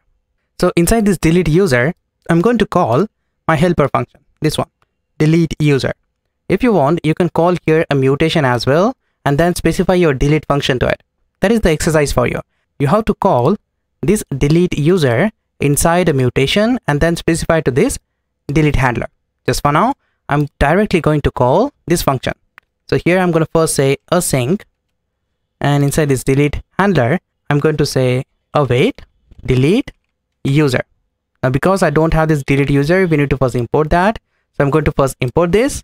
And then here i'm going to call this delete user. But as you know to this delete user we need to pass the user id so to get the user id right here at the top here as you know we can get the user id using this statement. So i'm going to say here constant delete id is equal to use selector. And inside this i'm going to say state and return state dot app dot client. And using this client i can access this variable delete id so i'm going to just specify here dot delete id So this statement is going to return the user ID to this delete ID. And then inside this delete handler, I'm going to say if we have this delete ID, only then execute this if statement. And once you delete the user, I'm going to update my data. At the top right up here, I'm going to say use query client from React query. And then I'm using this use query client right here. So I'm going to say constant query client is equal to use query client. And using this, I'm going to update the records. So right down here inside this delete handler, I'm going to say await query client dot prefetch query. And I'm going to prefetch the query users. And then here I'm going to specify my users function. This one. Get users. So let me pass that right up here. Get users. And then I'm going to pass that to this query client. And after that I'm going to say await dispatch delete action. So we need to first import the delete action. So at the top right up here I'm going to say comma delete action copy this delete action and then specify that right here. And then specify value null so i'm going to just specify the initial value to this delete action. Once the data is successfully deleted. Just after that to this cancel handler. Here i'm going to say console.log cancel and then i'm going to say await dispatch delete action and then specify here null don't forget to specify here async because this is the synchronous function. Back to the project and reload it. Now what i want when i click on this button only then i want to display this message.